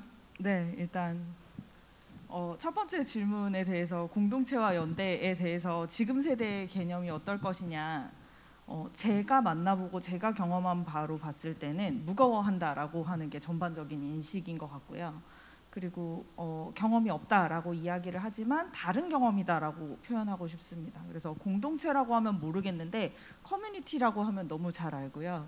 그리고 공동체라고 할 때 느껴지는 어딘가 좀 뭔가 저기 저 농촌 지역 어디일 것 같고 막 이렇게 막 시간 내 가지고 회의하라 그러면 가야 될 것 같고 뭐 이렇게 얘기하는 그런 무거운 식의 것보다는 그냥 가볍게 진짜 온라인에서 얘기하는 식의 이런 것들에 대한 선호는 확실히 나타나죠. 그런 것이 확실히 나타나고 그래서 왜 이런 차이가 있을까라고 생각하다가 개인적으로 저는 이제 화두처럼 가지고 있는 게 공동이라고 했을 때 그 동자의 무게감이 다른 게 아닐까. 동이 문제일까, 체가 문제일까, 뭐 이런 고민을 하고 있거든요. 그래서 한 몸처럼 움직이자라고 하는 방식의 연대가 예전의 방식이었다면 그것에 비해서는 약간 지, 정말 지나가다 만난 사이에도 손 한 번 잡고 흩어질 수 있는 실제 만남이나 뭔가 함께 일을 도모하는 방식 자체가 그렇게 바뀌었기 때문에 그런 경험들이 조금 들어가지 않나. 그래서 요즘은 연대라는 말 거의 안 쓰는 것 같아요. 젊은 세대 같은 경우는 연대라고 하는 용어들을 뭐 이렇게 운동의 성격에 따라서는 쓰기는 하지만 그래서 그런 거좀 있는 것 같고 두 번째로 어, 저는 사회적 경제에 종사자가 어떤 역량을 갖춰야 되는가. 사회적 경제가 그러니까 뒤집어서 사회적 경제가 누가 오더라도 우리가 원한 아까 삼성 말씀하셨지만 사실 대기업들이 그렇게 할 수 있는 건 들어가서 얼마간의 이 교육을 통해서 자기 스타일로 만들 수 있다라는 자신감이 있기 때문이라고 생각하거든요. 그래서 어, 공교롭게 이제 좀 이제 최근 몇 년 사이에 인재 양성이라든지 이런 데 대한 예전의 연구나 관심들이 어떻게 됐는지를 좀 들여다보게 됐는데 실질적으로 우리가 누구든 이게 지나가나 지나가는 과정에서 사회적 경제를 만난다라고 했을 때 진짜 끌어들일 수 있는 우리는 이런 가치가 있어라고 너네 우리 되게 매력 있다라고 얘기할 수 있을 만한 것들을 스스로 정리하고 소통할 수 있는가라고 하는 그러니까 사람 자체의 역량에 대한 질문보다 우리가 그 역량을 함께 만들어 나갈 누구든 이제 잠깐 쉬어가는 동안에도 그런 둥지 역할을 좀 할 수 있을까? 라고 하는 고민들로 좀 같이 가져가야 될 부분이 아닌가라는 생각을 좀 하고 있고요. 변화하는 시대의 리더십이라고 하는 건 사회적 경제 안에서 분명히 감동을 주시는 리더분들은 있다고 생각합니다. 그리고 그런 분들이 있고 잘 되고 있는 그래서 스스로 감동을 받고 진짜 이렇게 가슴 뜨겁게 움직이시는 분들이 여전히 많이 계시고 다만 이제 계속해서 약간 그거를 개인 조직, 개별 조직이 잘하고 잘못하고의 문제로 환원할 것이 아니라 개인의 문제로 치환할 것이 아니라 어떻게 같이 갈 것인가. 그래서 이 사람이 착한 사람이 되기를 바란다기보다는 그 사람 자체는 좋을 수 있고 나쁠 수 있지만 최소한 이 안에서 나쁜 본성을 드러내지 않아야겠다라고 하는 강력한 어떤 드라이브가 있다든지 이런 식으로 시스템 차원에서 움직일 수 있는 것들도 같이 고민할 수 있지 않을까 저는 좀 그런 생각을 하고 있습니다. 네, 저는 공동체와 연대에 대해서 네, 어, 제가 느끼는 건 역시도 그 공동체 그냥 느낌은 공동체라는 어휘는 낯설진 않고요. 연대라는 어휘는 좀 낯설었던 것 같아요. 그리고 어, 아까 이제 마을 만들기와 같은 사례 이야기도 해주셨는데 그 공동체라는 용어가 확실히 어느 지역에 함께 살고 있는 사람들은 좀 벗어난 것 같아요. 이제는 개념이. 그리고 그러니까 마을 만들기도 한창 그런 것들이 우리가 공동체성이 무너졌다, 공동체성을 잃어간다라는 얘기할 때 마을이라는 그런 개념을 계속 같이 생각했었는데 그리고 앞으로의 그냥 우리 주거 환경도 내 집을 갖기보다는 옮겨 다니면서 살아야 되는 시대가 됐잖아요. 네. 내가 여기 살아서 여기서 내가 이 마을의 일원으로 이 지역의 일원으로 무엇을 책임감 있게 하겠다라는 거를 마음 먹는 것 자체가 안 되는 환경이다 보니까 저도 좀 지역적으로 고, 이렇게 떠올렸던 공동체라는 용어는 확실히 이제는 의미가 그것은 벗어났다는 느낌이 들고 어, 함께 어떤 것을 고민하는 사람들 함께 무엇을 추구하는 사람들이라고 생각할 때 나는 좀 공동체를 떠올리지 않나 라는 생각을 좀 하는 것 같아요. 네. 연대라는 용어도 연대라, 연대라는 어휘보다는 네, 좀 더 가볍게 표현하기를 좋아하는 것 같아요. 지금의 2030 세대들이 네, 그리고 실제로 그 용어를 사용하면서 겪은 경험이 많지 않아서인 것 같다는 생각이 좀 듭니다. 네. 어, 그리고 사회적 경제 종사자의 역량 또는 사회적 경제 종사자는 어떤 사람이면 좋을까? 또 어떤 사람을 원할까 이런 거 생각했을 때는 네 없다고 생각해요 저도 그냥 어, 사경 조직이건 어느 조직이건 내지는 어느 분야건 어떤 것을 갖춰야 한다 어떤 역량이 있어야 된다라는 기준은 필요하지 않을 것 같고 네 그냥 자기 삶의 가치나 자기가 추구하는 것들이 있는 조직에 그런 일들을 하고 있는 곳에 몸담고 함께 어울려서 일하는 일하면 되지 않을까라는 생각해요. 그래서 아, 이런 사람 이런 특징을 가진 이런 성향을 가진 뭐 요즘 MBTI도 정말 많이 얘기하는데 이런 성격이나 이런 성향이나 이런 단점을 가진 사람은 사경에선 어려워하는 건 없는 것 같아요. 그거는 거기서 어려운 사람은 어디 가도 어려운 사람이겠죠. 네, 어느 조직에 어울려 살기도. 그래서 그냥 저도 좀 예, 존중하지 않는다거나 내지는 너무 개인주의적이거나 뭐 이런 거는 다 사경과 맞지 않는다라는 이런 간혹 듣는 편견 같은 거는 네, 말 그대로 편견인 것 같다는 생각을 했고요. 어, 리더는 사회적 경제 조직에서의 리더는 어떻게 변화해야 되는가, 어떤 리더십이 되어야 되는가라는 고민은 예, 이제 저에게 던져진 과제 같은 고민인데, 네, 저는 그 전에는 원주에서 지역 신문사 기자로 일했고 그 기자로 일하면서 우리 지역의 사회적 경제의 모습과 원주 협동사회 경제 네트워크가 하는 일들 예, 거기서 함께 살아간 사람들의 모습을 보다가 어, 내가 기자로 여러 가지 영역을 상당히 봤는데 어, 조금 희망적이겠다 해서 사회적 경제에 몸담게 됐었던 사람인데요. 그 그러다가 저는 협동조합 컨설턴트로 계속 일했고 어, 조금은 갑작스럽게 저희 조직의 어떤 변화로 올해부터 사무국장을 맡았어요. 제가 사무국장을 맡고 그러니까 결국 미, 저, 저와 함께 일하는 지금 다섯 명의 직원들이 갑자기 이제 제가 리더가 돼야 되는 상황을 맞이했었죠 제가.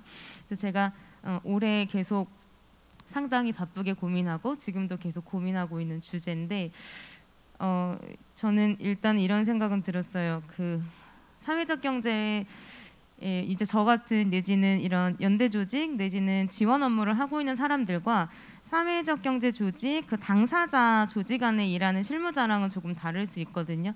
그런데 어쨌든 좀 뭐뭐 하는 척 하지 말아야겠다. 뭐뭐 하는 척 하지 말아야겠다는 생각 좀 많이 했거든요. 근데 우리가 자꾸 뭐 행정이나 제도 이런 데 끌려가면서 그 취약계층 30% 이상 고용하는 게 우리의 미, 비전이고 사회적 가치고 미션인 척 하는데 어, 그거는 그냥 어쩔 수 없이 하는 거고 사회적 가치 추구하고 있는 거는 실무자가 못 느끼고 있고 이런 조직들이 너무 많이 모여 있는 어, 연대체에서 지원하고 있거나 이런 곳을 지원해야 하는 하나 싶은 고민이 드는데도 요건에 맞으면 그런 곳을 지원하는 일을 도와주는 지원자로 일하거나 네, 이런 데서 많이 회의감이나 실망감들을 실무자들이 느낀다는 생각 들어서 네, 사경에 있는 조직들이 결국에는 그 조직일 수 있고 리더일 수 있는데 예, 뭐뭐 하는 척하지 말고 무엇을 하고 있는지 좀 분명하게 짚어가야 되고 그렇게 사는 모습을 보여줘야 되지 않을까라는 생각하고요. 좀 작게는 제가 사무국장 맡고 하는 일들은 그런 거였어요. 좀 월요일이나 금요일은 연차를 되도록 쓰지 않는 분위기가 묘하게 흘러왔었는데 도대체 이유를 모르겠어서 없앴고 바로 자유롭게 쓰셔라 없앴고 네, 꼭 같이 있어야 되는 날이 있으면 그때 이유를 밝히고 함께 있으면 되는 건데 네. 그래서 되도록 너무 작은 거잖아요. 직원들이 월요일이나 금요일에 연차 쓰고 3박 4일 여행 갔다 오고 싶으면 가고. 네. 그리고 좀 약, 약간 그런 식의 진짜 이유는 잘 뭔지 모르겠는데 불필요하게 요구나 장치를 걸어놨던 것들을 잘 생각해봐서 필요 없으면 없애고 개인의 의사나 생각을 존중하는 노력.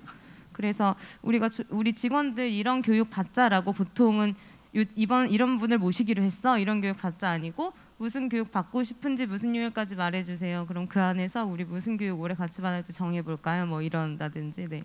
그냥 어떻게 보면은 조직 그러니까 사무실 안에서도 운영하면서 네 좀 그냥 우리도 모르게 좀 관, 관행적으로나 좀 권위적으로 해왔던 일들을 그냥 하나씩 깨고 네 그런 거 할 때 같이 이야기 함께 일하고 있는 사람들이랑 이야기 나누고 그 의견을 같이 모아가는 작업들 하는 거 그런 일들은 저를 노력하고 있고요. 네 어떻든 비전을 제시해 줄 수 있어야 하는 리더에 되, 되지 않을까 네 그런 생각합니다 요즘. 어, 일단 뭐 공동체와 연대라고 하는 건 그러니까 제 생각엔 본질적으로 사람이면 공동체와 연대를 찾는 거는 누구나 가지고 있는 특성이라고 생각하고 그건 뭐 세대랑 사실 상관이 없는 것 같아요. 근데 부르는 명칭이나 경험이 좀 다른 거죠. 뭐 그래서 말씀하셨던 것처럼 연대라는 단어는 이제 좀 어색하지만 커뮤니티는 뭐 익숙하고 근데 이 뭐 근데 요 흐름을 조금 정리해 보면 그냥 뭐 그런 우리의 공통성을 규정하는 것이 예전에는 되게 하드웨어적인 거였는데 지금은 약간 소프트웨어적인 걸로 옮겨가는 것 같다. 그래서 저는 지금 시대의 커뮤니티를 제일 상징적으로 보여주는 게 아미라고 생각하거든요. BTS의 팬인 아미. 네.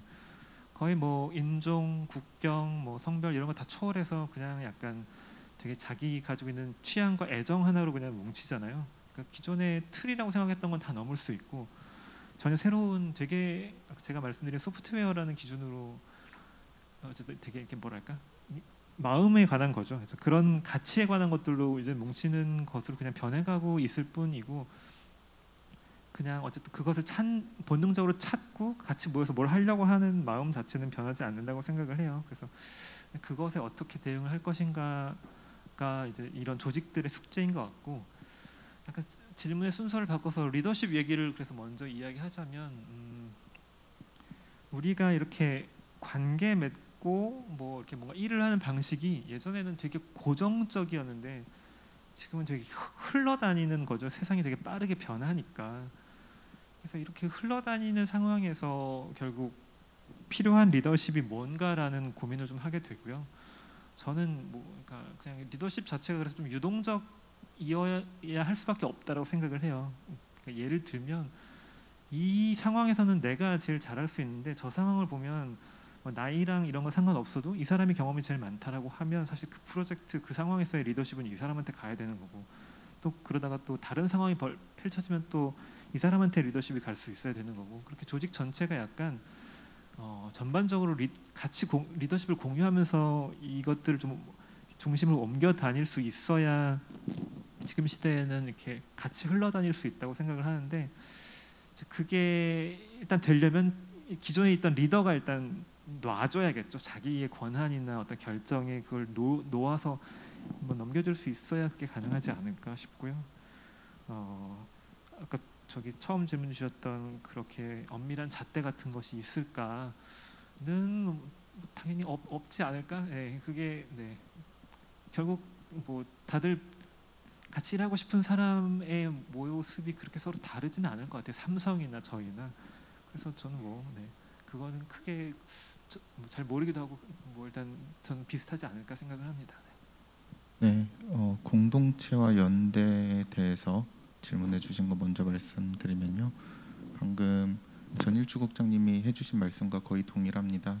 저는 공동체가 옛날에는 지역 중심이었다면 이제는 관심사 중심으로 흥미 중심으로 재편되지 않을까라고 그냥 혼자 조심스럽게 예상해 보고요. 근거는 없습니다. 그리고 연대 같은 경우는 어, 연대 경험 자체를 사실 살면서 많이 해본 적이 없어요. 뭐 지난 한 1, 2년간 몇 번 해본 그 정도인데 그래서 말씀드리기는 조심스러우나 어, 연대의 경험을 해보지 못했기 때문에 어, 네 그거의 중요성을 잘 못 느끼는 사람도 있을 거고 그런 경험들이 사회에서 이렇게 흔하게 일어나지 않고 있는 게 좀 문제가 아닌가 뭐그 정도 말씀드리고 싶습니다. 어, 이어서 이제 저도 리더십 먼저 말씀드리고 싶은데요. 어, 저는 사회적 경제의 리더 분들이 훌륭한 분들이 많다고 생각합니다. 특히 그 중에서도 진정성 있는 리더 분들은 정말 많다고 생각합니다. 제가 말씀드린 두 가지가 이제 진정성 있는 리더십과 번역적인 리더십이라고 했는데 전자인 진정성 있는 리더십은 많다고 생각합니다. 하지만 그분들도 사람인지라 가끔은 말과 행동이 달라질 수 있죠. 다르게 행동할 수도 있죠 말과. 그럴 때 좀 많이 실망을 하기도 하니까요. 어, 뭐 조금 조금 더 진정성 있는 리더들이 있으면 좋지 않을까 뭐이 정도 말씀드리고 싶고요. 저는 사회적 경제에서 원하는 어떠한 인재상이 특별히 있다고 생각하지는 않습니다. 전반적으로 이야기를 할 때는요. 하지만 뭐 특수한 경우는 있겠죠. 중간 지원 조직 같은 경우 그러니까 먼저 이렇게 말씀드리고 싶은데요. 어, 조직원 모두가 공동의 목적을 갖고 있다면 그 조직은 잘 될 가능성이 높겠죠. 너무나 당연한 이야기죠. 그렇다면은 중간 지원 조직의 목적이 만약에 사회적 경제 확장, 성장 이런 거라고 한다면은 중간 지원 조직의 직원들은 약간 어, 다른 뭐 일반 기업이 아니라 중간 지원 조직 당사자 아니, 중간 지원 조직 직원들 같은 경우에는 어, 뭔가 조금 사회적 경제 가치에 동의를 하는 사람들이 오면은 좋지 않을까? 동의를 하지 않는 사람이 오더라도 변혁적인 리더십을 통해서 그분들이 중간 지원 조직의 역할을 충분히 동의하고 어, 성장해 나갈 수 있으면 되지 않을까? 뭐 이 정도 말씀드리고 정리하겠습니다. 네, 그 두 분의 세 개의 질문 그리고 네 분이 차례로 이제 말씀 주셨는데요. 아, 다시 플로어로 넘기기 전에 저도 그냥 사회 사회자 아니라 그 토론한다는 느낌으로 조금 제 얘기를 잠깐 드리면 또 질문하실 시간도 벌 수 있을 것 같아요. 그 저는 이 세 가지 질문의 그 지향 또는 범위라는 게 이런 게 되면 사회적 경제가 잘 되는 건가 또 이런 거를 잘 해야지 사회적 경제가 잘 아, 되겠지 하고 아마 질문해 주셨을 것 같아요. 그래서 좋은 리더가 있고 그 다음에 그런 걸 하기 위해 어떤 역량을 갖춰야 되고 개념을 조금 더 확잘 그 엄밀하게 해서 공동체란 뭐고 연대란 뭐냐 이런 것들을 좀 잘 들여다보자 이런 이런 뭐 맥락에서 다 이제 질문 주셨다고 생각하는데 아, 저는 이제 예를 들면 리더 관련해서 그 있냐 이렇게 물어봐서 있는 것 같아요 저도. 작년에 제가 경험했는데 저희가 코로나 때문에 되게 어려웠잖아요. 근데 그 연대회의가 고용제로 선언을 했어요 우리 연, 사회적 경제가 뭐냐 어? 경제가 어려울 때 다 이렇게 해가지고 돕고 어려울 때 자기 역량을 이렇게 키워온 게 사회적 경제 아니냐 이렇게 하면서 사람 어떤 일이 있더라도 사람 자르지 말자 그리 그게 사회적 경제 아니냐 이렇게 선언했는데 잘 안 될 것 같았어요. 선언은 했지만 그런데 실제로 이걸 너무 진지하게 고민하고 이, 이 문제 때문에 어, 며칠을 고민하고 하시는 현장의 리더들을 만났고 아 그때 되게 그 가슴이 벅차오르더라고요. 이런 분들이 있었기 때문에 사회적 경제라는 게 지금 우리에게 여기 와 있는 게 아니냐. 그래서 저는 리더가 있다고 생각해요. 근데 이제 두 번째 제가 묻고 싶은 그런 거예요. 그런 리더들이 많다고 하면 사회적 경제가 정말 좋아지냐? 이 문제는 다른 문제인데요. 어떤 문제냐면 지난 한 20년간 사회적 경제라고 하는 걸 한번 생각해 보세요. 사회적 경제는 어떤 거예요? 이게 정의가 돼야 그, 그 리더도 정의되고 그 일하는 사람의 역량도 정의될 거잖아요. 우리는 그 문제에 대해서 조금 더 본질적으로 뭐냐 우리는 도대체 왜 이 일을 하냐에 대해서 물어야 될 것 같아요. 그게 답변이 안 되면은 그 다음 단계로 우리 우리 사회적 경제가 계속 지속 가능한 무엇을 하기는 어렵지 않냐. 근데 잘 생각해 보면 지난 20년간 사회적 경제를 우리 사회는 어떻게 정의하고 있냐면 취약계층을 고용해서 그들에게 일자리를 제공하는 무엇이라고 생각하는 것 같아요. 그래서 사회적 경제 내 몇 퍼센트는 취약계층으로 고용하고 등등등등. 두 번째, 사회적 경제는 그 사회 서비스를 전달하는 무엇 이렇게 정의하고 있는 것 같거든요. 한 지난 20년간 그래 왔던 것 같아요. 이거는 어디에 드러나냐면 사회적 경제를 그 제도적으로 규율하고 있는 사회적 경제와 관련한 뭐 사회적 기업 육성법, 그다음에 협동조합 기본법에 보면은 그 재정의와 입법 취지에 명확하게 드러나 있습니다. 취약계층을 고용하고 그들에게 사회 서비스를 제공하는 것. 이게 이런 거를 뭐라 그러냐면 그 정체성이라고 하거든요. 브랜드 아이덴티티. 내가 선언하는 것과 사회가 나를 보는 건데 그렇게 지금 느끼고 있는 것 같아요. 이런 분야에는 그럼 어떤 리더가 필요해요? 취약계층의 마음을 잘 이해하고 사회에서 잘 전달할 수 있는 리더가 필요하고 그런 걸 잘할 수 있는 역량 있는 분들이 필요하잖아요. 근데 아까 자, 말씀하신 대로 사회는 굉장히 복잡해지고 공동체의 개념은 내, 제가 생각하는 공동체의 개념은 아, 최소한 사회적 경제에서 하려고 하는 공동체의 개념은 지금 말씀해 주신 건 조금 다르거든요. 지리적으로 클로즈 돼 있고 그 내에서 상호성이라고 하는 게 존재하고 등등등등을 포함하는 거를 저는 공동체로 보거든요. 그러니까 이렇게 좀 생각하는 바도 좀 다르고 등등등이에요. 이런 것들에 대해서 우리가 조금 깊이 있게 토론한 다음에 그것을 하기 위해서 어떻게 할 것인지를 좀 논의해야 될 시점이 된 것 아니냐. 그래서 저는 다음 세대와 함께 사회적 경제를 논한다면 다음 세대들에게 또는 지금 사회적 경제를 하는 사람들 스스로가 사회적 경제가 도대체 뭐냐, 그 정의가 뭐냐, 그 다음에 우리는 사회적 경제는 우리 사회에서 어떤 역할을 해야 하는지에 대한 정의가 먼저 되고 그런 다음에 거기에 그것을 해 나갈 리더도 그것을 잘할 만한 리더도 만들어야 되고 그것을 잘할 수 있는 역량도 돼야 되는 것 아닌가라고 생각이 들거든요.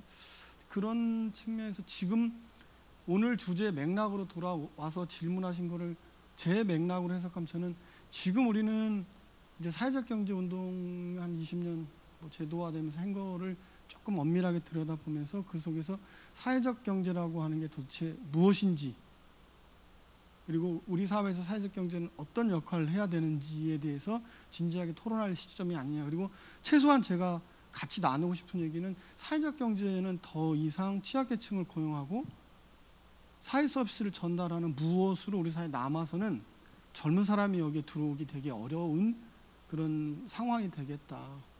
이런 거를 하는데 이런데 이렇게 하는데 사회적으로 지원하거나 그 투자하거나 이럴 수가 없잖아요. 이거는 복지니까 예를 들면 우리가 들어오고 진행되고 그 다음에 아웃풋 아웃컴이 있다면 이건 투자로 보지 않고 지원으로 보거든요. 그러니까 관점이 이런 것들은 곳곳에 드러나요. 사회적 기업 같은 경우도 그렇고 협동조합도 그렇고 우리가 혁신적인 무엇을 하려 그러면 뭐가 필요합니까? 사람도 필요하지만 돈도 필요하잖아요. 근데 어, exit 할 수 없죠. 지금 사회적 기업도 마찬가지고 안 들어오잖아요. 협동조합도 마찬가지고 그러니까 자본이 안 들어요. 그래서 우리가 자조금융 한다는데 이것도 또 어렵게 잘 힘들게 안 되잖아요. 그러니까 이게 지난 20년간 우리가 잘 역할을 해왔다고 저는 생각해요. 그런데 이것에 대해서 조금 확장된 자기 역할들을 지금 해야 될 시점이 아닌가 그런 선언들이 우리 내부에서 일어나고 그렇게 되지 않는다면 조금 사람들이 새, 새롭게 젊은이들 여기 들어와서 계속 일하고 또 이 우리가 산업적으로 이 사회적 경제가 계속 커져 나가긴 되게 어렵지 않을까 하는 그런 개인적 생각도 해보았습니다. 네, 토론자로서. 네. 아, 추가 질문이 있으신가? 어, 말씀해 주신 거에 대한 짤막한 저의 생각 네네네 또 다음에. 질문 하나 드리겠습니다. 저는 그 소셜 벤처에 대한 연구를 하고 있는 그 사단법인 선이라는 데서 근무하는 이근옥 변호사인데요. 어, 그 말씀해 주신 그 사회적 경제가 원래는 일자리 취약계층한테 일자리를 제공하든지 아니면 취약계층한테 사회 서비스를 제공하든지 뭐 이게 가장 주류인데 어, 소셜벤처는 이제 거기에서 머무 그러니까 그 그것과 조금 다르게 진짜 뭐 사, 그 일주 팀장님이 말씀해주신 그 성, 사회적 미션은 가지고 있대? 더 성장에 집중하고 뭔가 그 공동체와 연대 이런 거를 약간 고민 그런 거에 대한 고민은 좀 하지 네 약간 별개의 영역으로 성장해 오고 있는 영역인데 그래서 제가 social venture 종사자분들이랑 뭔가 사회적 기업 인증을 왜 하지 않느냐라는 질문을 했을 때 어, 사회적 기업에 대한 이미지가 되게 지원을 받고 뭔가 성장이랑 좀 거리가 있는 이미지이기 때문에 뭔가 투자 이런 거에 대해서 오히려 불리한 이게 작용할 수 있어서 그 브랜딩 이미지를 어, 네 그런 것까지 생각해 보면 오히려 지원 그 인증을 하지 않는 게 더 낫겠다 싶은 그런 분들도 좀 계시더라고요. 근데 이런 분위기가 한편 이해가 또 가실 것 같아서 네, 이런 분들도 어쨌든 사회적 미션을 실행 실현하고 계신 분이기도 한데 어, 특히 이 헤이그라운드에 계신 분들 다 소셜벤처 분들이신데 그럼 이런 분들을 사회적 경제 테두리 안에 뭔가 포용을 한다는 거에 대해서 네. 어, 어떻게 생각하시는지 좀 여쭙고 싶습니다. 네 분의 이야기 너무 잘 들었습니다. 그 뭐라고 해야 될까요? 약간 답답함에 약간 숨통이 트였다, 뭐 이런 느낌이 좀 들었고요. 그 말씀드리고 싶은 건 음, 의견이자 질, 이렇게 제 의견이 어떻게 생각하는지가 궁금한 거가 있는데요. 이게 어, 이가람 선생님께서 말씀해주신 그 개인 리더가 감당하기 어렵다. 그리고 개인 직원이 뭔가 이렇게 잘하기 위한 한계가 있다. 그래서 함께 해야 되는 게 중요하다. 우리 스타일을 만들기 위해서. 그리고 이제 그런 얘기는 우리 전성욱 국장님도 비슷하게 말씀해 주셨고 우리 그 한미 선생님께서도 비슷하게 말씀해 주셨고 그- 그런 리스크 그러니까 어, 대표님들이나 저 이, 이사장님들을 만나면 뭔가 좋은 걸 하고 싶은데 거기서 생기는 리스크를 나 혼자 감당할 수 있느냐라고 하는 질문들을 되게 많이 던지는 것과 연결돼 있는 그런 지점들이 있고요. 또 하나는 전일주 팀장님께서 알맹이가 되기 위해서 이런저런 노력을 했는데 다 실패했다라고 하는 기반이나 뭐 여러 가지 면에서 그런 한계의 지점들을 쭉 말씀해 주셨는데 그런 것들이 저는 이렇게 연결되더라고요. 이렇게 그것들을 같이 감당해 줄 수 있는 거를 우리가 못 만드는 거 아닌가? 예를 들면 협의체라든지 그런 구조를 못 만드는 거 아닌가? 아니면 비즈니스 연대라고 하는 구체적인 이런 것들을 어, 그 리스크를 감당할 수 있는 무엇인가 개인을 뛰어넘은 뭐 이런 것들이 필요한 거 아닌가? 뭐 이런 생각들이 좀 들어서 그런 것들이 혹시 그 제안해 주실 수 있는 게 있는지 이 궁금해서 질문 드려봅니다. 네. 저는 아, 앞서 드린 질문의 후속 질문입니다. 네. 아, 네. 아, 그 사회적 경제는 음, 여하간 어, 일을 하고서 경제 활동을 해야 되는 거잖아요. 일반적인 커뮤니티와 같을 수는 없습니다. 예를 들면 사회적인 미션과 어, 역할을 가지고 먹고 살아야 되는 문제거든요. 그러면 그걸 가지고 어쨌든 어, 150년간 내려난 협동조합에서는 그 생존 전략으로 지역사회 기업, 협동적 협동 이걸 굉장히 중요시 여기고 있거든요. 그러니까 이런 경제 활동을 하는 데 있어서 사회적 경제는 지역과의 면밀한 연결을 요구하잖아요. 근데 실제로 우리가 생각하는 우리가 변해오는 이 공동체성이 네. 지역이라는 물리적 공간을 벗어나서 어, 예를 들면 아까 제가 듣기 노마드 리더십 같이 모였다 해쳤다 이런 이런 구조로 간다면 과연 우리가 아, 이 사회적 경제의 활동에서의 근거지가 될 지역의 연결성 이런 부분들은 어떻게 설명될 수 있을까라는 고민이 들어서 후속 질문을 드립니다. 세 분의 질문이 있으셨어요. 그 먼저는 social venture 같은 이런 사회 혁신 하려고 하는 젊은 분들 또 이런 사람들을 사회적 경제라고 하는 어, 범위 내에 같이 이렇게 포함시켜서 나가는 것이 어떤 어떤 맥락에서 좋은 거냐 또는 아니면 뭐 어떤 문제가 있는 거냐 등등 관련해서 social venture 어떻게 볼 거냐 뭐 이런 주제쯤 되는 것 같고요. 그다음에 우리 그, 그 공동체 질문 주시면서 이 공동체라고 하는 개념들을 조금 사회적 경제 맥락에서 그 잘 해석하고 그것이 사회적 경제 활성화에 좀 도움이 될 수 있도록 해석하는 의견들은 어떠신가? 아까 말씀 주셨 중간 중간 주신 것 관련해서 질문하신 분이 나는 그렇게 생각지 않는다 이렇게 말씀 주신 것 같아요. 일곱 일단 요 두 가지 질문에 대해서 혹시 그 의견들 뭐 아 나 꼭 말씀해 말씀하셔야겠다. 이거는 다 하지 않고 네네. 소셜 벤처 얘기 나왔으니까 아, 제가 네. 대답을 안 할 수가 없는데 거여서요. 네. 어 그러니까 그 어쨌든 사회적 경제를 만들어가는 방법이 계속 그렇게 한두 가지 흐름으로 크게 좀 나뉜다는 느- 생각을 해요 요새. 그 뭐냐면 그러니까 우리가 기, 기존의 사회 사, 인간이 살아가면서 겪는 여러 가지 삶의 문제를 공동체 기반으로 그동안 많이 해결을 해 왔었었는데 이게 비즈니스 기반으로 되게 많이 넘어가고 있는 거죠. 그냥 전 사회적 영역이 사회가 뭐- 바로 그 공동체가 그동안 감당했던 것을 많은 전문 조직으로 해결하는 형태로 계속 넘어가고 있고 그것이 이제 사, 사회 문제 역시도 마찬가지인 것 같아요.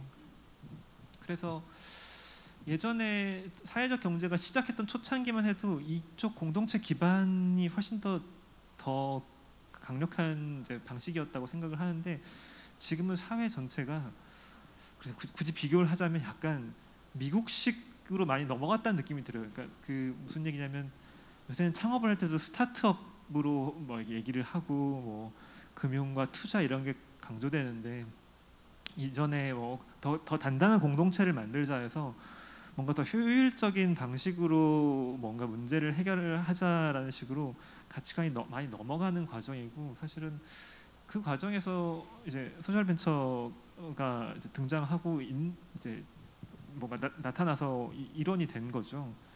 그래서 이거는 글쎄 받아 받아들이고 말고의 문제라기보다는 그냥 흐름 자체를 그냥 전 좀 인정을 할 수밖에 없는 거 아닌가? 일단 어, 그러니까 어쨌든 사회를 뭔가 문제를 풀어가는 방식이 좀 바뀌고 있는 거 아닌가라는 생각을 일단 하- 하게 됐습니다. 네. 네. 네, 저는 이제 사회적 경제 이야기 질문하셨으니까 또 답을 좀 드리겠습니다. 소셜 벤처가 뭐 사회적 경제에 포함되냐 안 되냐 뭐 이런 이야기가 어 저는 그런 식의 관점에서 좀 벗어나야 된다라고 생각을 해요. 어떤 말씀이냐면 어떤 말이냐면요. 사회적 기업 일 그럼 사회적 기업은 사회적 경제인가? 뭐 정책에서는 그렇게 분류하죠. 근데 저는 그렇게 보는 시각보다는 사회적 기업 중에 사회적 경제인 데가 있고 아닌 데가 있다. 협동조합 중에도 사회적 경제인 데가 있고 아닌 데가 있다. 그렇다면 social venture 중에도 사회적 경제인 데가 있고 아닌 데가 있다. 뭐 NGO도 저는 사회적 경제에 크게는 들어갈 수 있다고 생각하고 보다 크게는 마을 공동체, 자원봉사 이런 것까지 다 포괄이 된다고 생각을 하거든요. 어, 그래서 social venture를 사회적 경제에 포함시키는 방법이라기보다는 더 많은 social venture들이 사회적 경제의 방식으로 운영되는 방법으로 고민을 좀 전환하면 어떨까 전환 뭐 제안드려 봅니다. 네, 저는 두 분, 네, 세분 말씀해주신 이야기들을 조금 종합해서 답변 제 생각 말씀드리고 싶은데요. 그 질문해주신 의도나 내지는 지금 전성욱 국장님도 답변해주신 내용 안에 들어있는 것 같은데 사실 어, 저희 지역 원주 지역 안에서는 어, 그래서 최근 예, 이제 지금 오늘 좌장 맡아주고 계신 강민수 선생님 말씀처럼 사회적 경제 그러니까 지금 시점에서 우리가 사회적 경제 뭔지 돌아봐야 된다. 우리 정체성이나 방향성 점검해야 된다. 이런 고민 지역에서 많이 하고 있거든요.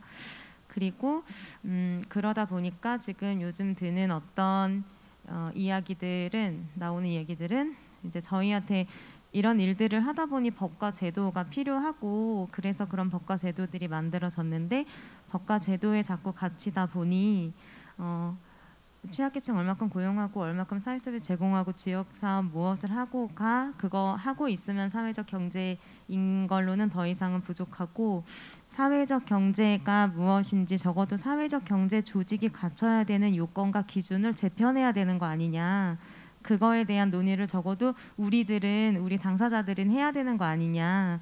음, 지금 사경 조직이다 하는 거에도 이미 사회적 기업, 마을기업, 협동조합, 자활기업만 포함되어 있고 생협은 포함 안 돼 있고 뭐 이런 아주 가벼운 얘기들부터 있잖아요. 예. 그래서 사회적 경제라는 것이 갖춰야 되는 기본의 요건이나 기준 같은 것들 다시 고민할 필요가 있겠다. 그거를 고민하면은 질문해 주신 social venture 기업이라든지 네. 내지는 뭐 요즘 고민하는 또 하나의 living lab이라는 방식의 고민 같은 것들 그 안에서는 사실 협동조합이나 사회적 경제 방식들이 상당히 녹아 있다고 이제 느꼈거든요. 그런 것들이 좀 어, 정리되어 가지 않을까. 근데 이 고민은 뭐 국가나 누구도 아무도 못 해주고 네, 사경 조직들 당사자들이 머리를 맞대고 고민해야 되는 얘기인 것 같다는 생각이 들고요.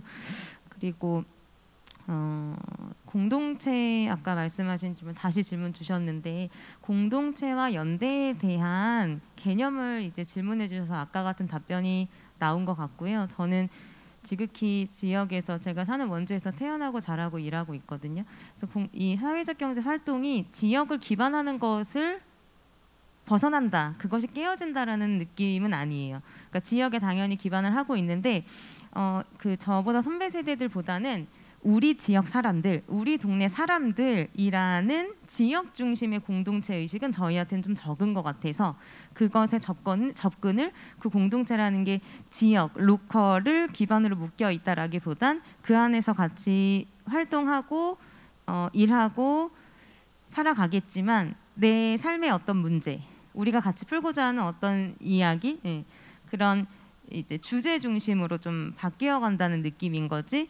어, 사회적 경제 활동들이 지역을 기반하고 있고 어, 거기에서 같이 좀 이런 논의들이 진행이 되고 일을 하는 거는 네 크게 그것과는 좀 벗어난다는 느낌은 들지 않아서 네 그런 생각 정도 네 말씀드리고 싶습니다.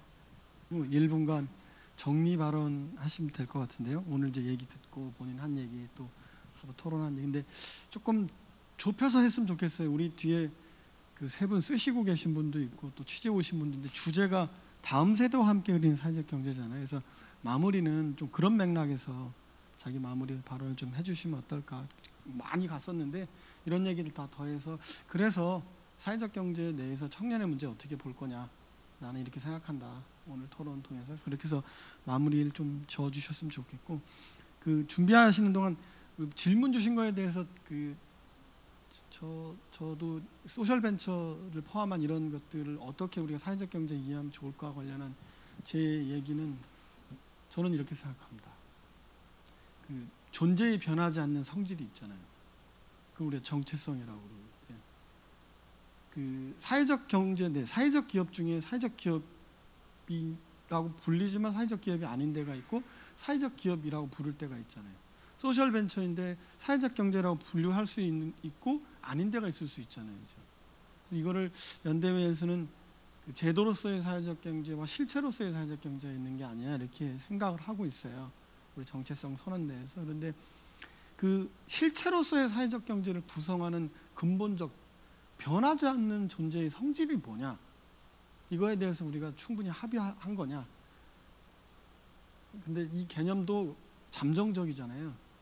늘 변화하니까. 그런데 아무리 세월이 흘러가도 변하지 않는 게 있을 것 같아요. 저는 제가 가지고 있는 잠정적 제 결론은 어떤 거냐면 어떠한 상황이든지 간에 그 매출은 하죠. 사회적 경제 기업 다 매출이 있어야 돼요.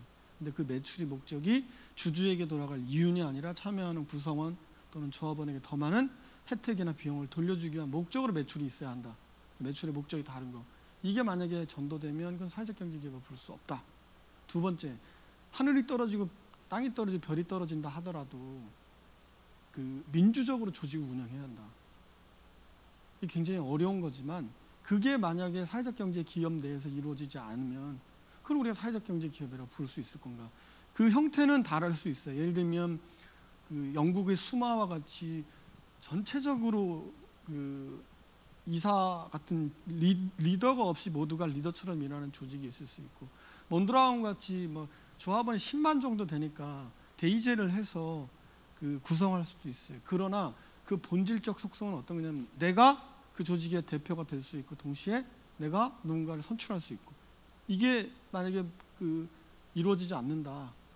그러면 그것을 그 사회적 경제 기업이라고 부를 이유가 있을까 라는 생각은 있거든요. 그래서 이런 문제들에 대해서 조금 저희가 무리 맥락에 맞게 사회적 경제의 본질을 이루는 속성들이 무엇일 수 있, 는가 이런 것들을 조금 더 논의해 가면 좋겠다 하는 그런 생각은 있습니다. 근데 그런 생각의 잠정적 제 결론은 매출의 목적이 주주에게 돌아갈 이윤을 극대화하는 게 있는 게 아니라 참여하는 구성원에게 더 많은 혜택을 돌려주려는 방식으로 매출이 반드시 있어야 한다. 만약 그게 전제되지 않으면 NGO하고 우리하고 다를 이유가 없거든요.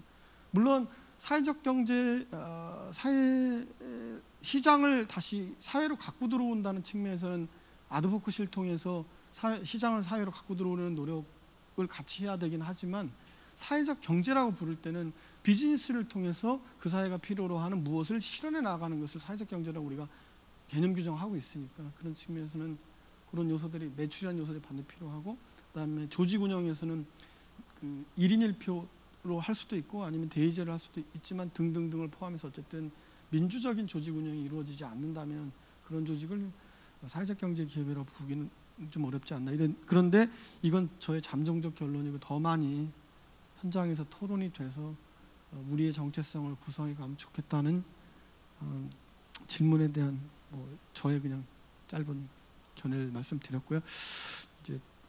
다들 준비가 되셨겠죠. 다시 이제 주제로 돌아와서 그 사회적 경제 뭐 아주 도발적으로 얘기하면 청년의 문제 어떻게 보고 어떻게 우리 그 문제 고민해 갈 거냐 이런 주제로 조금 포커스해서 우리 오늘 이야기 손님들 마지막으로 얘기 듣고 어, 17번째 사회적 경제 포럼을 마치겠습니다.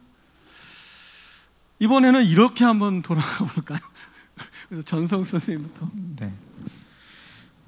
제가 얼마 전에 이제 Next SE라는 세미나가 있었는데요. 거기를 통해서 많은 사회적 경제 제 또래 실무자들을 만났어요.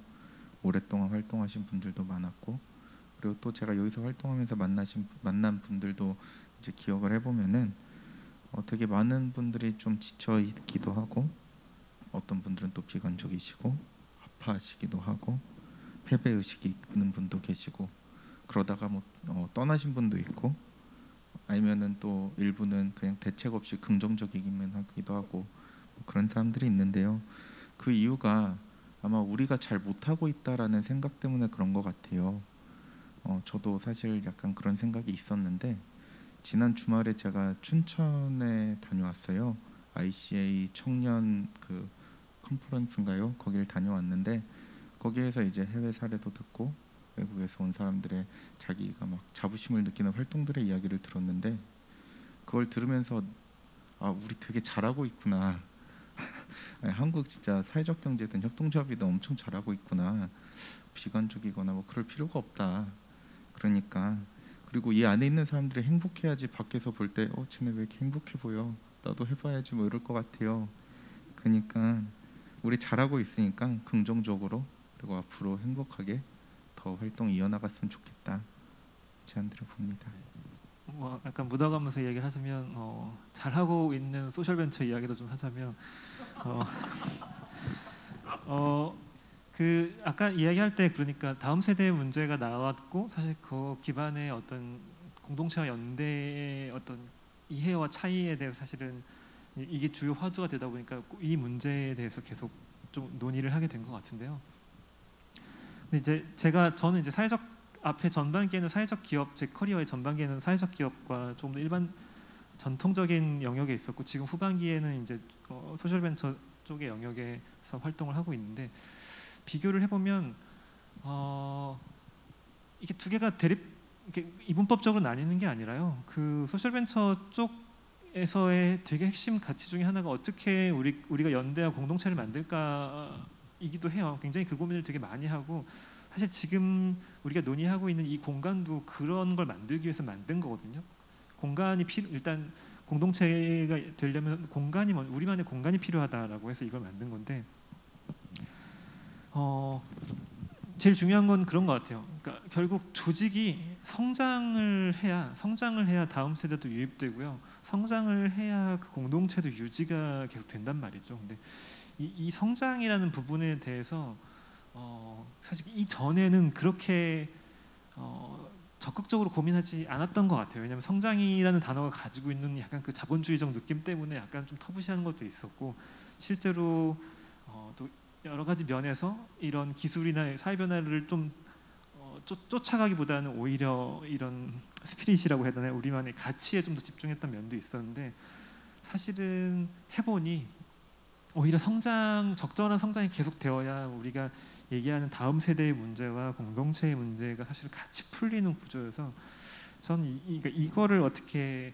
잘 같이 묶어내는가가 포인트라고 생각하고 그런 의미에서 뭐 소셜 벤처라고 하는 건 이제 그냥 사실은 방법론인 것 같아요. 뭐 조직이라기보다는 방법론인데 이 방법론을 새롭게 실험을 하고 있고 뭐 잘 어, 일단 지금까지 보면 괜찮은 결과가 나오고 있는 것 같아요. 잘 하고 있는 것 같아요. 그래서 이 방법론을 다 같이 조금 더 확장해서 같이 고민해 보면 좋겠다 정도가 어, 네 저의 결론입니다. 네. 네, 저는 제가 오늘 이 주제로 발제를 준비할 때 어, 이제 저를 지역에서 많이 가르쳐 주시고 이끌어 주시는 선배님들께서 어, 이제 사회적 경제 조직으로서 한 조직이 어떤 목표와 어떤 꿈을 가지고 그것을 향해서 사업해 나가고 민주적으로 조직 운영해 나가서 꿈을 이루고 살고 있는 실체를 너무 많이 보여주지 못한 게 이제 좀 어, 미안하다 내지는 선배들의 책임일 수 있겠다.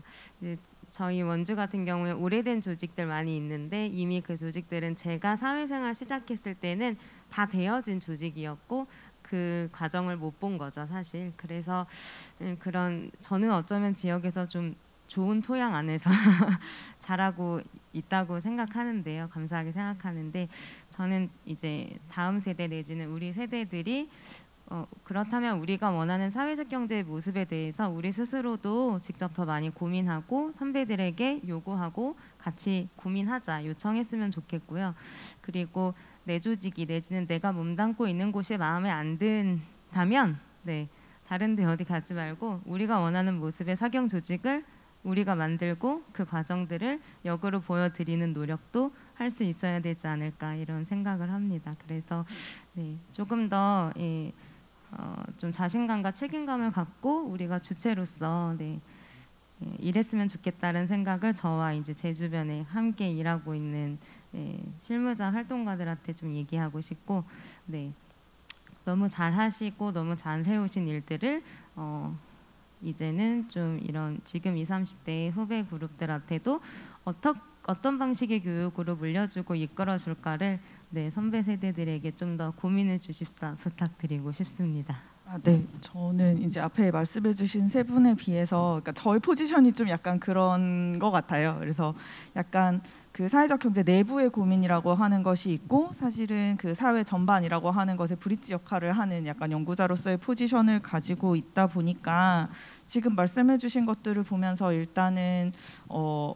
사회적 경제라고 하는 게 지금 말씀해주신 것처럼 청년의 삶하고 가까운 사회적 경제가 되면, 그러니까 그 사회적 경제의 방식이라고 하는 게 사실 일상과 연결되는 게 어느 세대의 일상과만 연결되는 부분은 아니잖아요. 그래서 그 일상성에 대한 관심을 가지고 있으면 충분히 연결되는 부분은 있을 거다라는 생각이 들고 이게 약간 그 개별적인 접근이라면 시스템적인 접근을 제가 계속 말씀드리는 건 사실 이거는 사회 전반에서 세대 얘기 나오면 제가 좀 항상 우려하는 부분이기도 한데 이미 이뤄 놓으신 것들이 있고 말씀하신 대로 그게 토양이 돼서 그 다음에 새로운 것을 하자는 것이 대체하자는 논의로 가지 않았으면 좋겠다라는 조심스러움이 있습니다. 그래서 그것에 대해서 이미 인정하고 있고 그 다음에 이제 그 새로운 삶의 경험 이 청년 세대들이 바라보는 관점에서의 사회적 경제가 일자리로서 아니면 사회적인 역할로서 했던 이 새로운 경험들이라고 하는 것과 또 새롭게 맞닥뜨리는 현실에 대한 또 접근과 대안으로서의 사회적 경제라고 확장이 가능한 것인데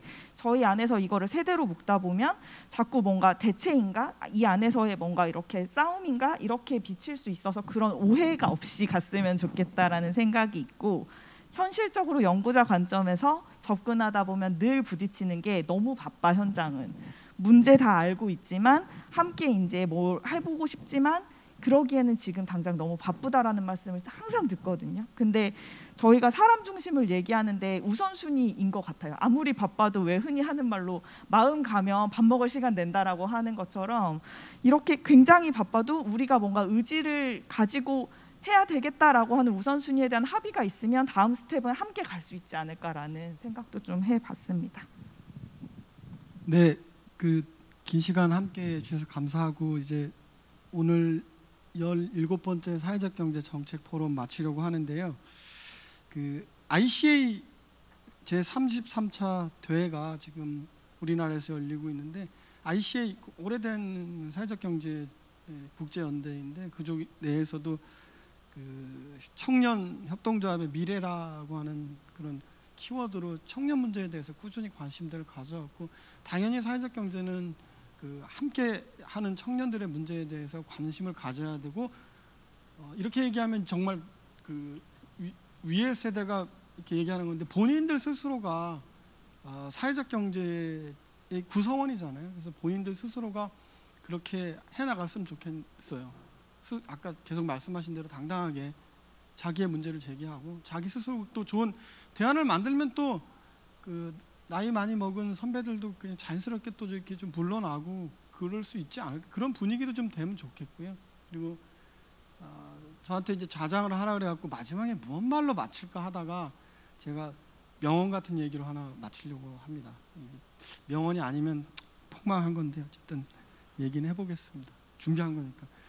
저는 이 세대 간의 연대 또는 협동, 그 사회적 경제를 그 개념 규정하는 것 중에 누구든지 다 동의하는 게 아마 연대와 협동 이 말인 것 같아요. 이 문제에 대해서는 누구도 부정하시는 분이 없더라고요. 사회적 경제 그러면. 근데 이제 이 연대와 협동이 너무 많이 쓰고 너무 고루해 보이잖아요, 느낌이. 도덕 교과서 같은데 메뚜기 아세요, 메뚜기? 아시죠? 메뚜기도 오장육부가 있다잖아요. 그 조그만 메뚜기에도 다 그렇게 다 갖추어야 된단 말이죠.